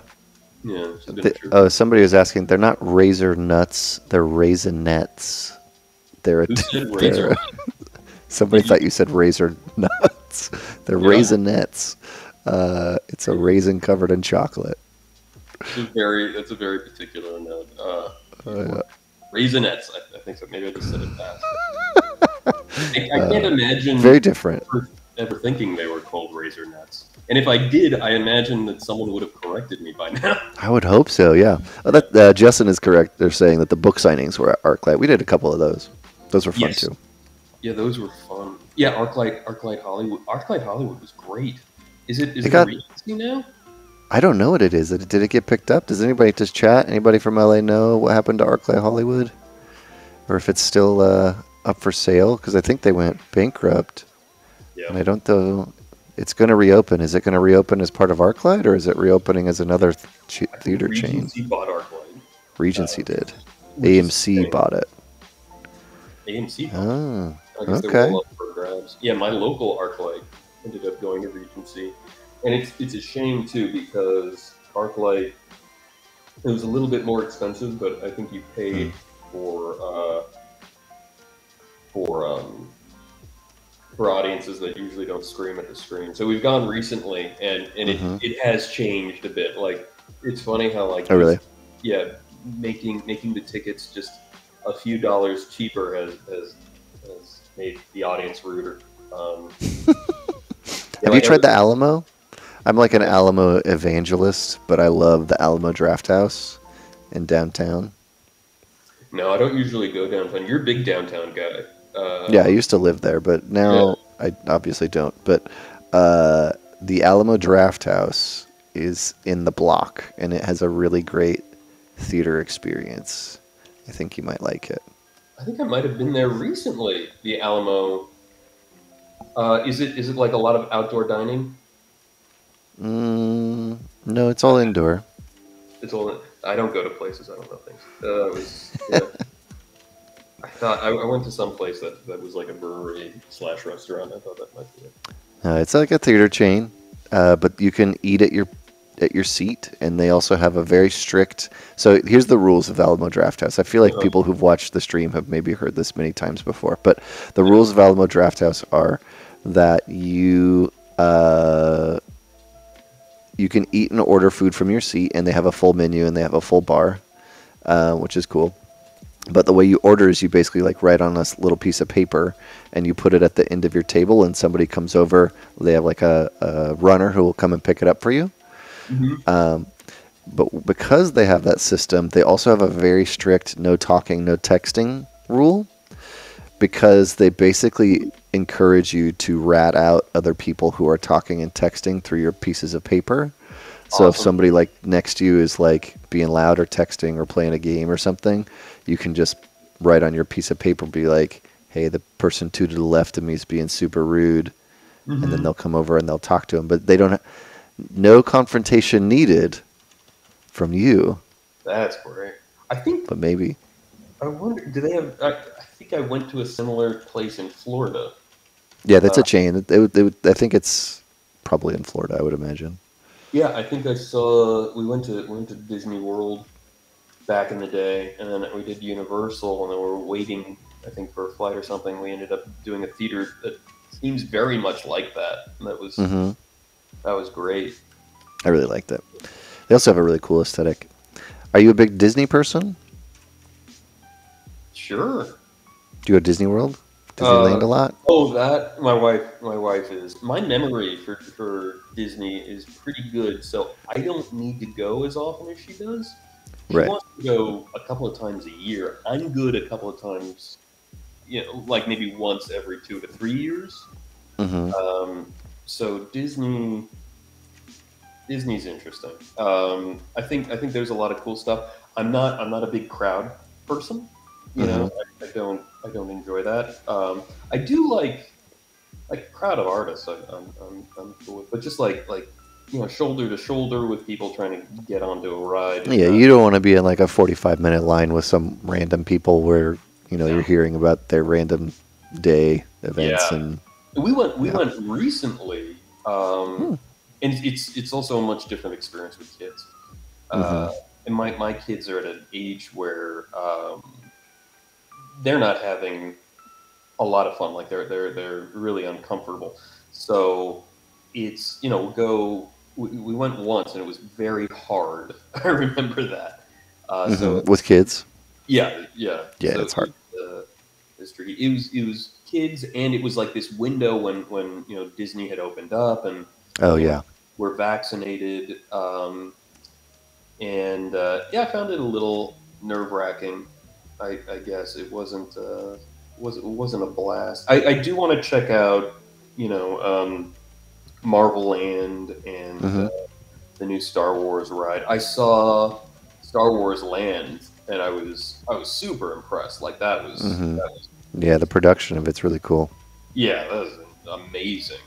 Um, but you know, I'll go and then I, I don't need to go for a while. But I think I'm going. I might go in a couple of days. Actually, I don't know. Good timing. My wife's birthday. Um, Ah, that'll be fun. Yes. Uh, we might we might bring the in-laws. That that's easier because you know Mm. help A little break and everything. Yeah. Um, makes sense. But yeah, Disney. Disney's cool. I'm a. I'm. It was also. I remember when you know we'd be at, at Marvel and and uh, you know we're surrounded by Dis, a Disney themed environment, and then to go from Mhm. that to Disneyland seems a bit you know redundant. Um, Sure. it's it's amazing. It, it's it's it's very cool. I don't knock it. I don't knock the uh, the artistry. I would just always rather be at home, uh, working on something that excites me. Uh, Right. I do also like, in all honesty, like these these um, the, these uh, places where people go. Anytime I'm I'm going on a vacation or anything, it has to be nature. It has to be. Um, I have to unplug. Oh, really? And you know, going to Disneyland is is really just like going back to. It, it feels it feels like work. It's just Mm. you know, it's it's characters, environments. It's you know now that all Do you find yourself like evaluating it? Oh yeah, Yeah. yeah. As soon as I started working in in practical effects, even before all the superhero stuff, I was eval- evaluating it. Like I, I just like knock every surface. It's like, oh, that's fiberglass. oh, this is how this is made. This is how this is made. I bet this is foam back. That's really cool how they they did that. Like, wow, kind of dropped the ball on that. Like I, I remember, like it's just no joy in me. It's it's a shame. Um, I remember riding on the Little Mermaid ride, which is is pretty damn good. But Mhm. you know, you know, my wife's enjoying it, and I'm just like, wow, I'm really surprised they they made Ursula out of foam latex. You think that that would disintegrate over time or not not hold up? I would have gone with urethane. And she's Um, like, "Shut up, Jerad." Yeah, it's just please shut. Up. Yeah, please stop ruining everything. Um, yeah, I can't. I can't uh, unplug. Especially, you know, Disneyland seems very seems so much like the job to me that it doesn't. Mm. I can't. I can't escape um, any of it. So that's why you know, uh, vacations are nature. You know, it, it's, Sure. it's trees, Get it's out. grass, it's animals, wildlife, just something. Absolutely. Not the job. Because the job, the job is fun. I'm not gonna, you know, I'm not gonna knock it, but it's, it's hard to, um, it's hard to unplug. Can you do it? Can you just go and and enjoy it, or do you just see echoes of the career? I can enjoy it. Yeah, I don't. I try not to get into it. I try to have that suspension of disbelief broken when I'm there. Uh, How do you I think that? that the only thing that bothers me most, oddly the most, is just the character suits. Yeah. Because I'm always just like, for some reason, it's it's just like, who's under there right now? Yeah. Like it, it just there's something about it. Yeah. Yeah. You know, they're going to be under there? safe. You know, kind people without criminal records. I'm sure. Sure. Uh, but The uh, thing I the thing I mean- really like about Disneyland about more than a- lot of other places is it just feels very safe. So like if you go there, you can lose something and I feel like I've lost or family members have lost things over the years and we've Mhm. always found them like we've never lost anything for good. Yeah, I kinda cool. Like their security is on top of it. There was a, a YouTube uh, clip I saw of an attempted uh, child abduction, Hmm. and uh, they, they got swarmed. Like security just nailed them. It was like Crazy. happiest place on earth. Hell yeah, you know that was. Yep. That's awesome. So I mean, they, they really have that under control. That is that is very cool. Like I'm, I'm grateful that that Disneyland serves um, that that for people. Like it, it's wonderful that people have a place to escape. That you know, I can see I can see it when my wife goes there, and uh, Mhm. you know, she's having she's having fun and, and, and everything. And so I'm I'm glad that like there's an institution that takes that kind of um, pride and, and works that, that hard to, to make that happen for so many people. It does Yeah, concern you though when you see see the like the hardcore Disney fans that you know you know they were just there yesterday. they're, they're they're they're head to toe, um, you know, you know, wearing the stuff and and uh, you know it's like ah, it's, a, it's a bit much. It reminds me when I used to work um, on MMOs. I, I worked for a company called NCSoft for a bit. hmm Oh, that's right. Yeah. During the writer's strike, I was working on MMOs, and it was my first video game gigs. Uh, it was a great, it was a great um, experience. I worked with a lot of talented people. I worked with, uh, you know, Anthony Francisco over Mhm. there. He actually got me the interview, Hmm. um, and uh, really, you know, tons of tons of talented guys. Uh, Kevin Chen. Um, That's right. I forgot about that. Paul was over there. That was that was funny too because Kevin is this incredible figure drawing teacher, and just a couple of months after graduating, I'm sitting next to him working. So that was that was surreal, and he's he's just he's so talented. Such a. He's also very kind. yeah, he's kind, he's quiet, he's he's uh, he's you can't. I, have never heard anybody say a negative thing about Kevin Chen. Um, also, anyone who wants to you know be a concept artist uh, character designer, like you have to, you you got to go through Kevin. You got to take his figure drawing class. You got to take you, you got to take that guy's class over at uh, Concept Design Academy. Um, he's amazing. Anyway, He's got a good school. yeah, um, it reminds me of MMOs because I there got there was this kind of weird point morality point uh, with working there, or you know we're working on a game which didn't, didn't do very well, Tabula Rasa. Um, I don't even know if it's if it's, if it's up still, but um, I think they were trying to explain to me. Uh, I think they were called epic items or something like that. I, Mhm. I, they, they wanted me to design these like gold weapons, and, the, the, and like, oh, why are these different? And I'm I'm not a gamer necessarily because I just don't. I have I've never invested that kind of time. I'll watch gameplay. I love I love working on video games. I have nothing but respect for them, but I do not have the time to uh, get good at playing games, so I never enjoy them. So it's always like Right. you know that learning curve, and then you know, I Uh-huh. have things to do, so I'm not gonna I'm not gonna do it. Like I, I really love working on like you know Gears of War and, and Mhm. those, those franchises. I worked recently with you know a bunch of guys from um, from Dead Space. But anyways, uh, these epic items, I think they were called epic items, and and uh, project manager ended up explaining them to me. He's like, okay, so when you know a person's been playing the game for a long time and they get a ton of points and they a long time, then they can acquire these these objects. So I was just like, well, how how long? And then he's like, "Oh, some people play for weeks," and I'm just like, "Ah." You didn't like that, yeah. I didn't like I didn't like contributing to that. Um, and that, that was that was one of the first times professionally I, I hit like I had no idea I was I, I had a moral uh, opinion about anything until until that that that came up, and so that was Till epic items. yeah that that soured the um, the experience of it. It was like oh I don't think people should play these for several weeks.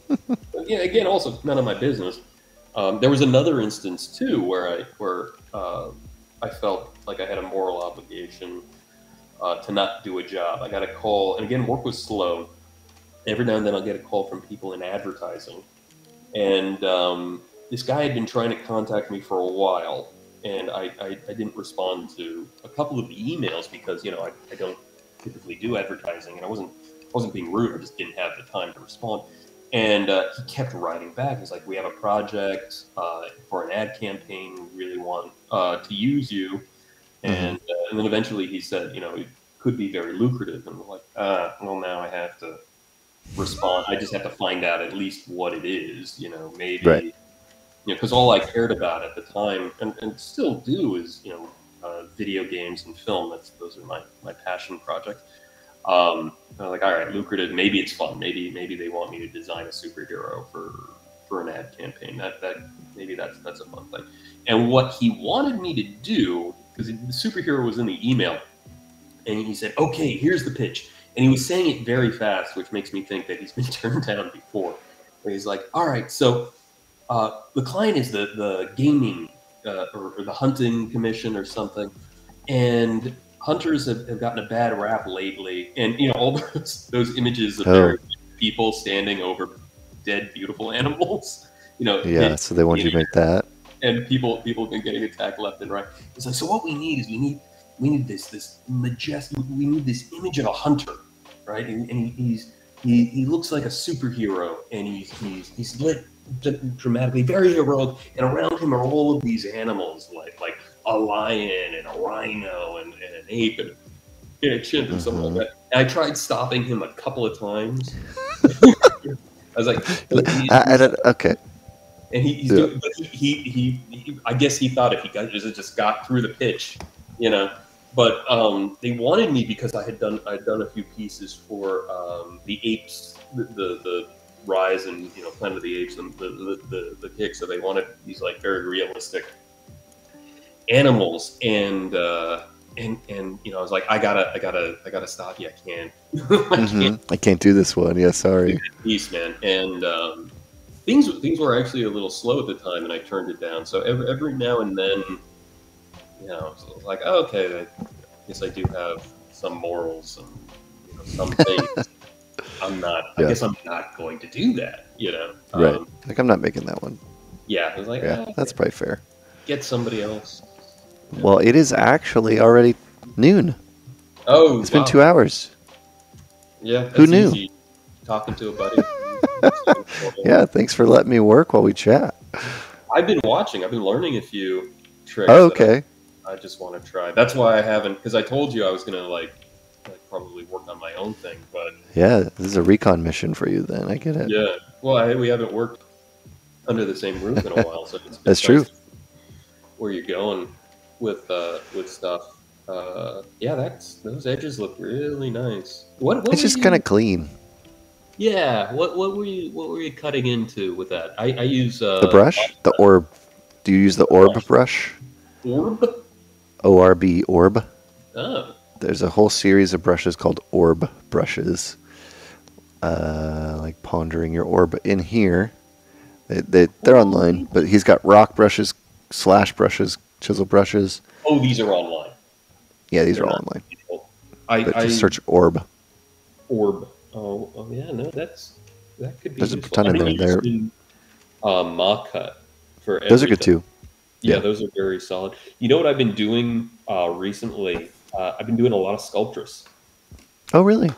Yeah, not a lot of people get use out of that. I love it. Um, what I'll do is I'll yeah I I'll, I'll use it with MAHcut and I'll get Mhm. very clean uh, edges. If the mesh is too dense, actually, Mhm. you just uh, select the area you want to work on, and then MAHcut into that with Sculptris on, and it doesn't matter what the geometry is.